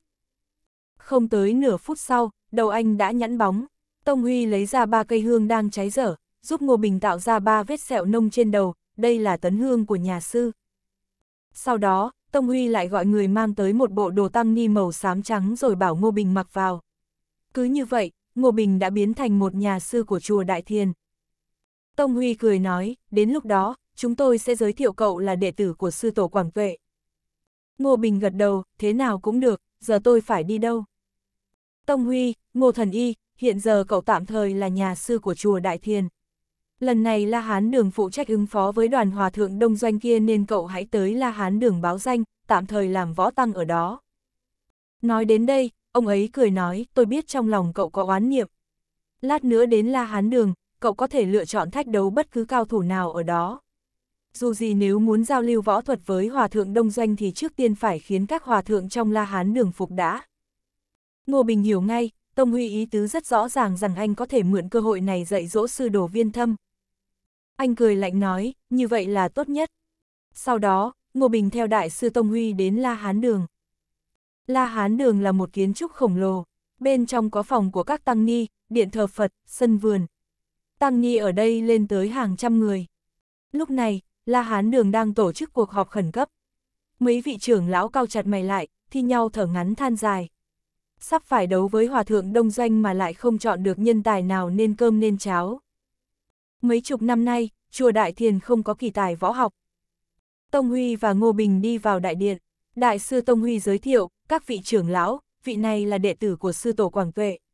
Tên hiệu của cậu ấy là Tịch Minh. Các tăng ni ở đó đều ngạc nhiên, sư tổ Quảng Tuệ có một đệ tử sao? Phải biết rằng Quảng Tuệ là một trong ba vị sư tổ của chùa Đại Thiền, địa vị cực kỳ cao. Bởi lẽ đó, địa vị đệ tử của sư tổ Quảng Tuệ đương nhiên cũng rất cao. Tịch Minh, Ngô Bình cũng không ghét cái tên này, dù gì cũng là tên dùng một lần nên gọi là gì mà chẳng được. chương 750, trừng phạt viên thâm. Trong số các vị trưởng lão có một nhà sư rất cao to, chính là viên thâm người lần trước định giết Ngô Bình. Viên thâm nhìn thấy Ngô Bình thì ánh mắt lập tức trở nên lạnh lẽo, nói các vị trưởng lão, kẻ này tên Ngô Bình, chính là hung thủ giết chết Trịnh Luân và Vương Trung. Đại sư Tông Huy, viên thâm sư thúc, hiện giờ đây là đệ tử của sư tổ Quảng Tuệ. Sư thúc cũng phải gọi tịch minh một tiếng, sư thúc mới phải. Viên thâm nổi trận lôi đình, bảo tôi gọi hắn ta là sư thúc. Trừ phi giết tôi đi. Ngô Bình đi về phía viên thâm. Viên thâm này khá mạnh, là địa tiên cảnh giới thuần dương. Hai người họ nhìn nhau mà mắt như tóe lửa. Trong mắt viên thâm đầy vẻ diếu cợt nói, chùa Đại Thiền không hoan nghênh kẻ giết người. Bốp! Đột nhiên, Ngô Bình thẳng tay tát bốp vào mặt viên thâm. Dù viên thâm là trưởng lão của La Hán Đường, tu vi cao thâm nhưng lại không né được phát tát vừa rồi. Ông ta vừa ngạc nhiên vừa tức giận, gầm lên một tiếng rồi lập tức thi triển tuyệt kỹ của chùa Đại Thiền, lao thẳng về phía Ngô Bình. Ngô Bình học được chân truyền trên vô tự Ngọc Bích, chiêu thức mà viên thâm thi triển đối với anh chỉ là trò trẻ con. Anh phất tay một cái đã hóa giải được chiêu thức này, lại còn kịp bồi thêm cho viên thâm một trường vào sau thắt lưng. Viên thâm như bị điện giật, cơ thể cứng ngắc không thể cử động. Ngô Bình bồi thêm ba phát tát nữa, mạnh đến nỗi khiến viên thâm quay vòng vòng, sau đó ngã phịch xuống đất. Viên thâm mặt không giấu nổi vẻ kinh ngạc. Ngô Bình nhìn ông ta, lạnh lùng nói, Mộ Dung Kiều là bạn tôi. Hôm đó đệ tử của ông là Âu Dương Thánh Hoàng bắt cô ấy. Người làm sư phụ như ông không thể tránh tội, bốn cái tát này coi như vị sư thúc này dạy dỗ ông. Ông có phục hay không? Viên thâm lúc này đã hoàn hồn trở lại, gầm lên, không phục. Ngô Bình cười lạnh, không phục. Được thôi, đứng lên đi, chúng ta tỉ võ phân cao thấp, nhưng lần này tôi sẽ không nương tay đâu. Viên thâm, không được vô lễ với sư thúc, một vị cao tăng đứng ra, vị này tuổi cao hơn viên thâm. Nhìn thấy vị cao tăng này, viên thâm không dám nhiều lời, chỉ đành ngậm bồ hòn làm ngọt. Vị cao tăng kia chắp tay nói, viên tâm của La Hán đường tham kiến sư thúc. Ngô Bình gật đầu đáp, viên tâm, lần này tôi tới là để tham gia cuộc đấu võ với Hòa Thượng Đông Doanh. Viên tâm này đột nhiên hiểu ra mọi chuyện, Ngô Bình mạnh như vậy, lại còn gia nhập La Hán đường đúng lúc này. Đây chắc chắn là ý của sư tổ Quảng Tuệ. Ông ấy lập tức đáp, sư điệt đã rõ. Ngô Bình, có điều, trước khi tôi tham gia cuộc tỷ võ, hãy gọi hết đám đồ đệ của viên thâm ra đây. Tôi muốn xem xem mấy kẻ đó có ra thể thống gì hay không. Ngô Bình không có ý định dừng tay với viên thâm, nhân cơ hội này, anh sẽ cho ông ta một bài học nhớ đời. Đại sư viên tâm có chút khó xử, nói, sư thúc, hiện nay là lúc nhà chùa cần đồng tâm hợp lực. Ân oán cá nhân của sư thúc có thể để sau giải quyết không? Ngô Bình, được thôi, tôi quay về trước, khi nào các ông bảo tôi tới thì tôi sẽ tới giải quyết. Đại sư Tông Huy vội vã nói, sư thúc muốn giải quyết bây giờ thì giải quyết luôn đi, nói rồi nhìn về phía viên thâm. Viên thâm giận dữ gần giọng, Tông Huy, chuyện của tôi đến lượt ông quản sao. Lúc này, có một giọng nói vang lên, không phải Tông Huy muốn quản mà là tôi muốn quản. Viên hối đi vào, ông ấy chắp tay chào Ngô Bình rồi cười nói, tham kiến sư thúc. Ngô Bình gật đầu, anh biết hôm nay chùa Đại Thiền sẽ phải cho anh một câu trả lời thỏa đáng.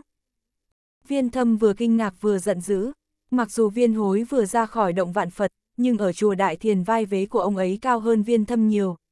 Bởi đúng ra thì viên hối chính là đồ tôn của sư tổ Quảng Tuệ. Sư huynh viên hối, cứ phải làm như vậy sao, viên thâm nói lớn, mặt phừng phừng lửa giận. Viên hối bình thản đáp, viên thâm, tôi chuyển lời của sư tổ Quảng Tuệ. Từ hôm nay trở đi, cậu không còn là trưởng lão của La Hán Đường. Ngày mai phải tới động tư quá suy nghĩ về lỗi lầm của mình trong vòng một năm. Không có lệnh của sư tổ thì không được ra khỏi động nửa bước. Viên thâm kinh ngạc, các người. Viên hối mặt xa sầm lại, viên thâm, cậu tự đi hay phải để tôi đưa cậu tới đó.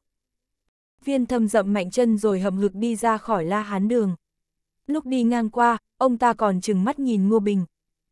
Ngô Bình cau mày nhưng cũng không cản đường ông ta rời khỏi đó.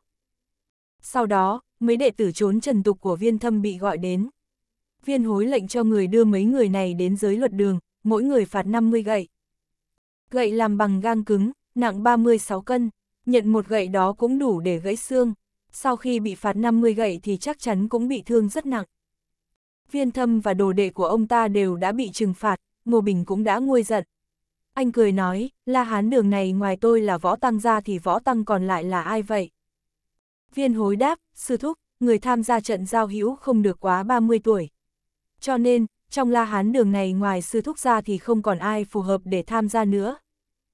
Tuổi không quá 30 sao, Ngô Bình gật đầu nói tiếp, mọi người chọn đại một người tuổi tác phù hợp để tham gia cùng tôi là được.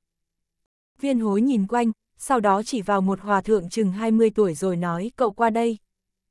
Hòa thượng trẻ tuổi vội vã bước tới, đến trước mặt hai người họ, hòa thượng này cung kính chào tham kiến hai vị sư tổ. Viên hối, cậu tên là gì?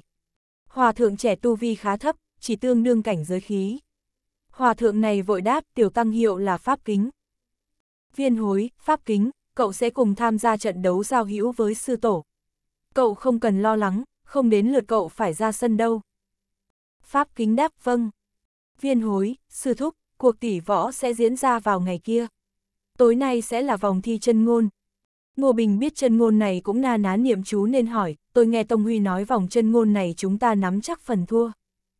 Viên hối thở dài đáp, cũng không còn cách nào, chân ngôn tông của Đông Doanh là chân truyền của đường mật khi xưa. Ngô Bình nghĩ một lát rồi đáp, hay là để tôi thử đi. Anh từng học được không ít môn kỳ công trên vô tự Ngọc Bích, trong đó đương nhiên có cả chân ngôn của nhà Phật. Viên hối mừng rỡ đáp, sư thúc cũng tinh thông chân ngôn này sao? Ngô Bình chưa hiểu rõ về chân ngôn tông của Đông Doanh nên hỏi lại, chân ngôn của phía Đông Doanh uy lực ra sao? Viên hối nghiêm mặt đáp, chân ngôn tông của họ có 3 loại chân ngôn hàng ma, 4 loại chân ngôn thanh tâm, 8 loại chân ngôn sát uy, 2 loại chân ngôn độ hóa. Lúc tỉ thí khả năng cao sẽ dùng đến chân ngôn sát uy và chân ngôn độ hóa. Mỗi bên sẽ niệm một đoạn chân ngôn, bên nào bị độ hóa hoặc sợ hãi mà bỏ cuộc trước thì sẽ tính là thua. Ngô Bình gật đầu, tôi đã hiểu, còn cách bao nhiêu tiếng là tới giờ thi đấu. Viên hối, cuộc đấu sẽ diễn ra vào khoảng 3 rưỡi sáng. Ngô Bình, sắp xếp cho tôi một nơi yên tĩnh để tôi luyện chân ngôn. Đám tăng ni kia đến hạn hán lời, giờ mới đi luyện tập thì kịp làm sao được. Viên hối vẻ mặt cũng có vẻ khó hiểu nhưng rồi cũng đáp, được, sư thúc hãy đi theo tôi. Nói rồi ông ấy dẫn Ngô Bình đến một biệt viện vô cùng thanh tịnh sau đó cáo lui. Ngô Bình nhớ lại những gì mình đã học trên phiến ngọc, chuẩn bị ôn lại một loại chân ngôn sát huy và một loại chân ngôn độ hóa. Chân ngôn sát huy thực ra là loại chân ngôn dùng để khủng bố tinh thần đối phương. Chân ngôn sát huy anh học có 12 đoạn, mỗi đoạn 36 âm tiết. Khi thi triển phải kết hợp với thủ ấn của Phật môn, độ khó rất cao. Ngô Bình hai tay tạo ấn, miệng niệm một loại âm thanh như các âm tiết trong tiên văn. Lần đầu anh niệm còn vấp nhiều nhưng lần hai đã tốt hơn rất nhiều. Sau khi niệm 5 lần, anh thấy hơi đau đầu. Loại chân ngôn này làm tổn hao rất nhiều thần niệm của anh. Anh liền uống một viên tiên thiên hồn lực đan rồi tập tiếp. Khi luyện lần thứ 6, anh cường hóa sức mạnh của thủ ấn. Đến lần thứ 7, anh kỳ công điều chỉnh tâm pháp. Đến lần thứ 8 anh niệm thì đằng sau gáy đã xuất hiện một vầng sáng hình tròn, ẩn hiện 10 vạn Bồ Tát và 3.000 Phật Tăng đang tụng chân ngôn. Bướm, ong và chim chóc xung quanh thi nhau rơi xuống đất, như thể bị dọa cho vô cùng sợ hãi. Lợi hại, loại chân ngôn nhà Phật này có khả năng hàng phục nhân tâm. Tiếp đó, anh tiếp tục luyện chân ngôn độ hóa. Chân ngôn độ hóa giống như cái tên của nó, là một loại chân ngôn dùng để siêu độ, cảm hóa. Nó còn có uy lực mạnh hơn cả chân ngôn sát uy, hiệu quả cũng rõ rệt hơn. Đương nhiên, nó cũng khó học hơn rất nhiều. Ngô Bình lúc này cũng đã rất mệt, anh chỉ đành cố gắng chậm rãi luyện từng lần một. Audio điện tử võ tấn bền Hết tập 43